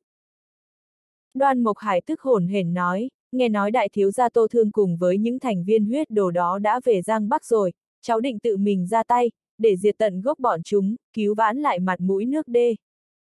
Giết Tô Thương hả? Ừm, Đoan Mộc Hải dò hỏi, ông nội Tô, ông biết cái người tên Tô Thương kia sao? Không biết. Tô Thương lên tiếng từ chối, sau đó nói, khi nào thì cháu đến Giang Bắc, ông nội Tô bây giờ đang ở tại Giang Bắc đây, cháu đến thì nói với ông một tiếng, ông sớm chuẩn bị thật tốt, cơm no rượu say chiêu đãi cháu. Thời điểm nói đến câu sau, trên mặt Tô Thương lộ ra một nụ cười, nhưng trong mắt thì chứa đầy sát ý. Khốn nạn! Không ngại xa xôi vạn dặm đến Giang Bắc, muốn giết ông nội đây sao, ông đây lại có thể giữ lại mạng của mày chắc. Lúc trước tại nước đê, Tô Thương kiêng kỵ rất nhiều, nên không chọn ra tay với đoan Mộc Hải, chỉ dùng dăm ba câu lừa gạt ông ta thôi. Nhưng hôm nay, đoan Mộc Hải muốn đến Giang Bắc giết Tô Thương, tiêu diệt huyết đồ, thế thì ngại quá đi, lần này ông có đi mà không có về rồi. Ông nội Tô, ông khách sáo quá đi. Đầu dây bên kia điện thoại cười nói, có lẽ đêm nay cháu đến Giang Bắc rồi, ông nội Tô, sau 9 giờ chúng ta gặp nhau đi, cháu muốn đi tiêu diệt nhà họ Tô trước. Tiểu Hải. Tô Thương nghe vậy, liền nói, chuyện nhà họ Tô bị tiêu diệt không phải là chuyện nhỏ thôi hay sao, cháu cứ đến tìm ông nội Tô trước, ông nội Tô ở Sơn Trang Y Vân, đêm nay ông quyết định lấy vòng tay lưu trữ đem tặng cho cháu. Hả, ông nội Tô, chuyện này, chuyện này, chuyện này quá sớm rồi, xương cốt ông cường tráng như vậy, để thêm mấy năm nữa rồi giao cho cháu cũng không muộn mà. Đoan Mộc Hải được sủng ái mà lo sợ nói, trong giọng nói tràn đầy chờ mong. Ai ya, ông nội tô của cháu đã già rồi, xương cốt ngày càng kém, đưa cho cháu sớm hơn một chút, thì ông mới yên tâm được. Tô Thương ra vẻ tức giận nói, sao hả, Tiểu Hải, chẳng lẽ cháu không muốn kể thừa vòng tay lưu trữ của ông nội Tô hay sao? Hừm, uổng công ông xem cháu như cháu trai tốt của mình, chờ sau khi ông chết đi, cháu có thể bảo vệ cho con cháu đời sau của ông, không ngờ rằng, cháu lại không có hứng thú đối với tài sản của ông, ai ya, thôi, thôi. Ông nội tô. Đoan Mộc Hải nhất thời gấp gáp, vội vàng nói, có hứng thú, cháu thấy có hứng thú mà, ông ở Sơn Trang Y Vân chờ cháu, khoảng 8 giờ cháu có thể đến đó. Ừm, thế này còn tạm được, ông nội tô này chờ cháu nha, không gặp không về. Được. Đoan Mộc Hải trả lời, sau đó liền cúp điện thoại, cùng lúc đó Tô Thương cũng cất điện thoại di động vào. Sau đó, Đoan Mộc Hải cười cười nói, ha ha, ông nội Tô thật tốt với mình, không ngờ sớm như vậy mà đã đem vòng tay lưu trữ cho mình rồi. Vòng tay lưu trữ của ông ấy, mình lấy chắc được, có điều, còn về người nhà của ông ấy thì... Nghĩ đến đây, đoan mộc lưu lộ ra một nụ cười độc ác, sau khi lợi ích nằm trong tay mình rồi, ai còn quản đến sống chết của bọn họ nữa chứ, ha ha ha. Chuyến đi Giang Bắc này, mình vốn định tiêu diệt nhà họ Tô, diệt trừ bọn huyết đồ quỷ dị, lại không ngờ rằng, còn có niềm vui ngoài ý muốn này. Ông nội Tô ơi là ông nội Tô, ông có phải quá ngây thơ rồi không, thật sự cho rằng lấy tiền tài của ông, thì nhất định phải trừ họa cho ông sao? Đoan Mộc Hải cười nhẹ một tiếng, sau đó tiến lên hành trình đi vào Giang Bắc. Lúc trước tại nước đê, Tô Thương không nhìn được thực thực của Đoan Mộc Hải, chỉ cảm thấy đối phương không kém gì Trương Trọng Ngu, chắc là bán thần tông. Đối với Đoan Mộc Hải, Tô Thương cũng không thèm để ý, bây giờ át chủ bài của mình đông đảo, giết ông ta là một vấn đề không lớn gì. Có điều, Tô Thương vẫn đang đi giải quyết chuyện của Dược Vương Điện, sợ ông ta đến trang viên nhà họ Tô làm loạn. Mặc dù trang viên nhà họ Tô có cửu âm cửu vương trận, có thể ngăn được đoan mộc hải, nhưng sử dụng một trận pháp cần tiêu hao đá năng lượng, dùng đó để đề phòng chuyện bất ngờ còn được, nhưng không thể thường xuyên sử dụng. Vì thế, Tô Thương liền gọi đoan mộc hải đi vào Sơn Trang Y Vân, định đem ông ta và bọn người cổ Hồng Nguyệt cùng giải quyết luôn một lượt. Không lâu sau, Tô Thương đi vào Sơn Trang Y Vân, ở phía xa đã phát hiện được chỗ tối có ba luồng khí tức, tập trung vào Sơn Trang Y Vân. Ba người đó, toàn bộ đều là thiên tông đỉnh phong, chắc là người canh gác trong miệng hứa Sơn Cư nói. Bọn họ nhìn thấy Tô Thương, cũng không hề để ý, ánh mắt sau khi nhìn Tô Thương một chút, liền thu lại. Tô Thương ẩn giấu khí tức, vì thế trong mắt bọn họ, Tô Thương chỉ là một người bình thường, liền định thả Tô Thương đi vào Sơn Trang Y Vân. Ha ha! Có điều Tô Thương không tiến vào, mà đứng bên ngoài cửa chính Sơn Trang, mặt trầm như nước, ba người chúng mày, cút ra đây cho tao mà chịu chết đi. Cút ra đây nhận lấy cái chết đi. Ngay khi những lời này nói ra, ba tên cao thủ thiên tông đỉnh phong đang ẩn nấp trong bóng tối đều lần nữa hướng sự chú ý về Tô Thương. Ngay sau đó, một lão già núp ở hướng Tây Nam đột nhiên xuất hiện, trên khuôn mặt già nua mang theo vẻ bình thản, chậm rãi bước về phía Tô Thương. Sao lại chỉ có một người xuất hiện vậy, đồng bọn của ông không ra sao, lẽ nào sợ chết rồi sao? Tô Thương nhìn lão già đó, khóe miệng nhếch lên cười châm biếm nói. Ha ha! Cậu thanh niên, nói khoác mà không biết ngượng à. Người đàn ông già nua lưng còng queo, khuôn mặt héo hon, những cánh tay lộ ra ngoài cũng gầy nhom, tong teo. Ông ta nhìn thẳng vào tô thương, trong ánh mắt tràn đầy sự khinh thường, khẽ nói, nói đi, cậu là ai, đến Sơn Trang Y Vân làm gì, có quan hệ gì với Dược Vương Điện chứ? Tôi chính là điện chủ của Dược Vương Điện, ông nói xem tôi và Dược Vương Điện có quan hệ hay không? Tô Thương khẽ nhíu mày nói. Ha ha, nói năng ngông cuồng, cậu thật mạnh mồm mà, Dược Vương Điện là thế lực thế nào chứ, sao lại để cho một người bình thường như cậu làm điện chủ? Lão già lưng còng vừa đi về phía Tô Thương vừa lạnh lùng nói, xem ra không cho cậu chút đòn thì cậu sẽ không thành thật khai báo, đúng không? Vừa nói, trong lòng bàn tay của lão già lưng còng tỏa ra chân khí ngập tràn, khí tức quanh thân cũng âm trầm xuống. Dựa vào ông mà cũng muốn giết tôi sao? Tô Thương ngược lại, lại liên tục cười nhạo, sau đó liền tỏa ra uy thế nghiền nát nơi đó. Vù vù. Một giây sau, dưới uy thế của Tô Thương, cát bụi nơi đó tung bay mịt mù, những hòn đá thì rung rinh. Hử! Lão già lưng còng thấy vậy, lập tức dừng chân lại, trong ánh mắt lóe lên tia kiêng kỵ, ông ta hỏi lại lần nữa, cậu thanh niên, rốt cuộc cậu là ai? Điện chủ của Dược Vương Điện, Tô Thương. Tô Thương thành thật nói. Tô Thương. Cậu chính là Tô Thương. Audio điện tử võ tấn bền. Hết tập 28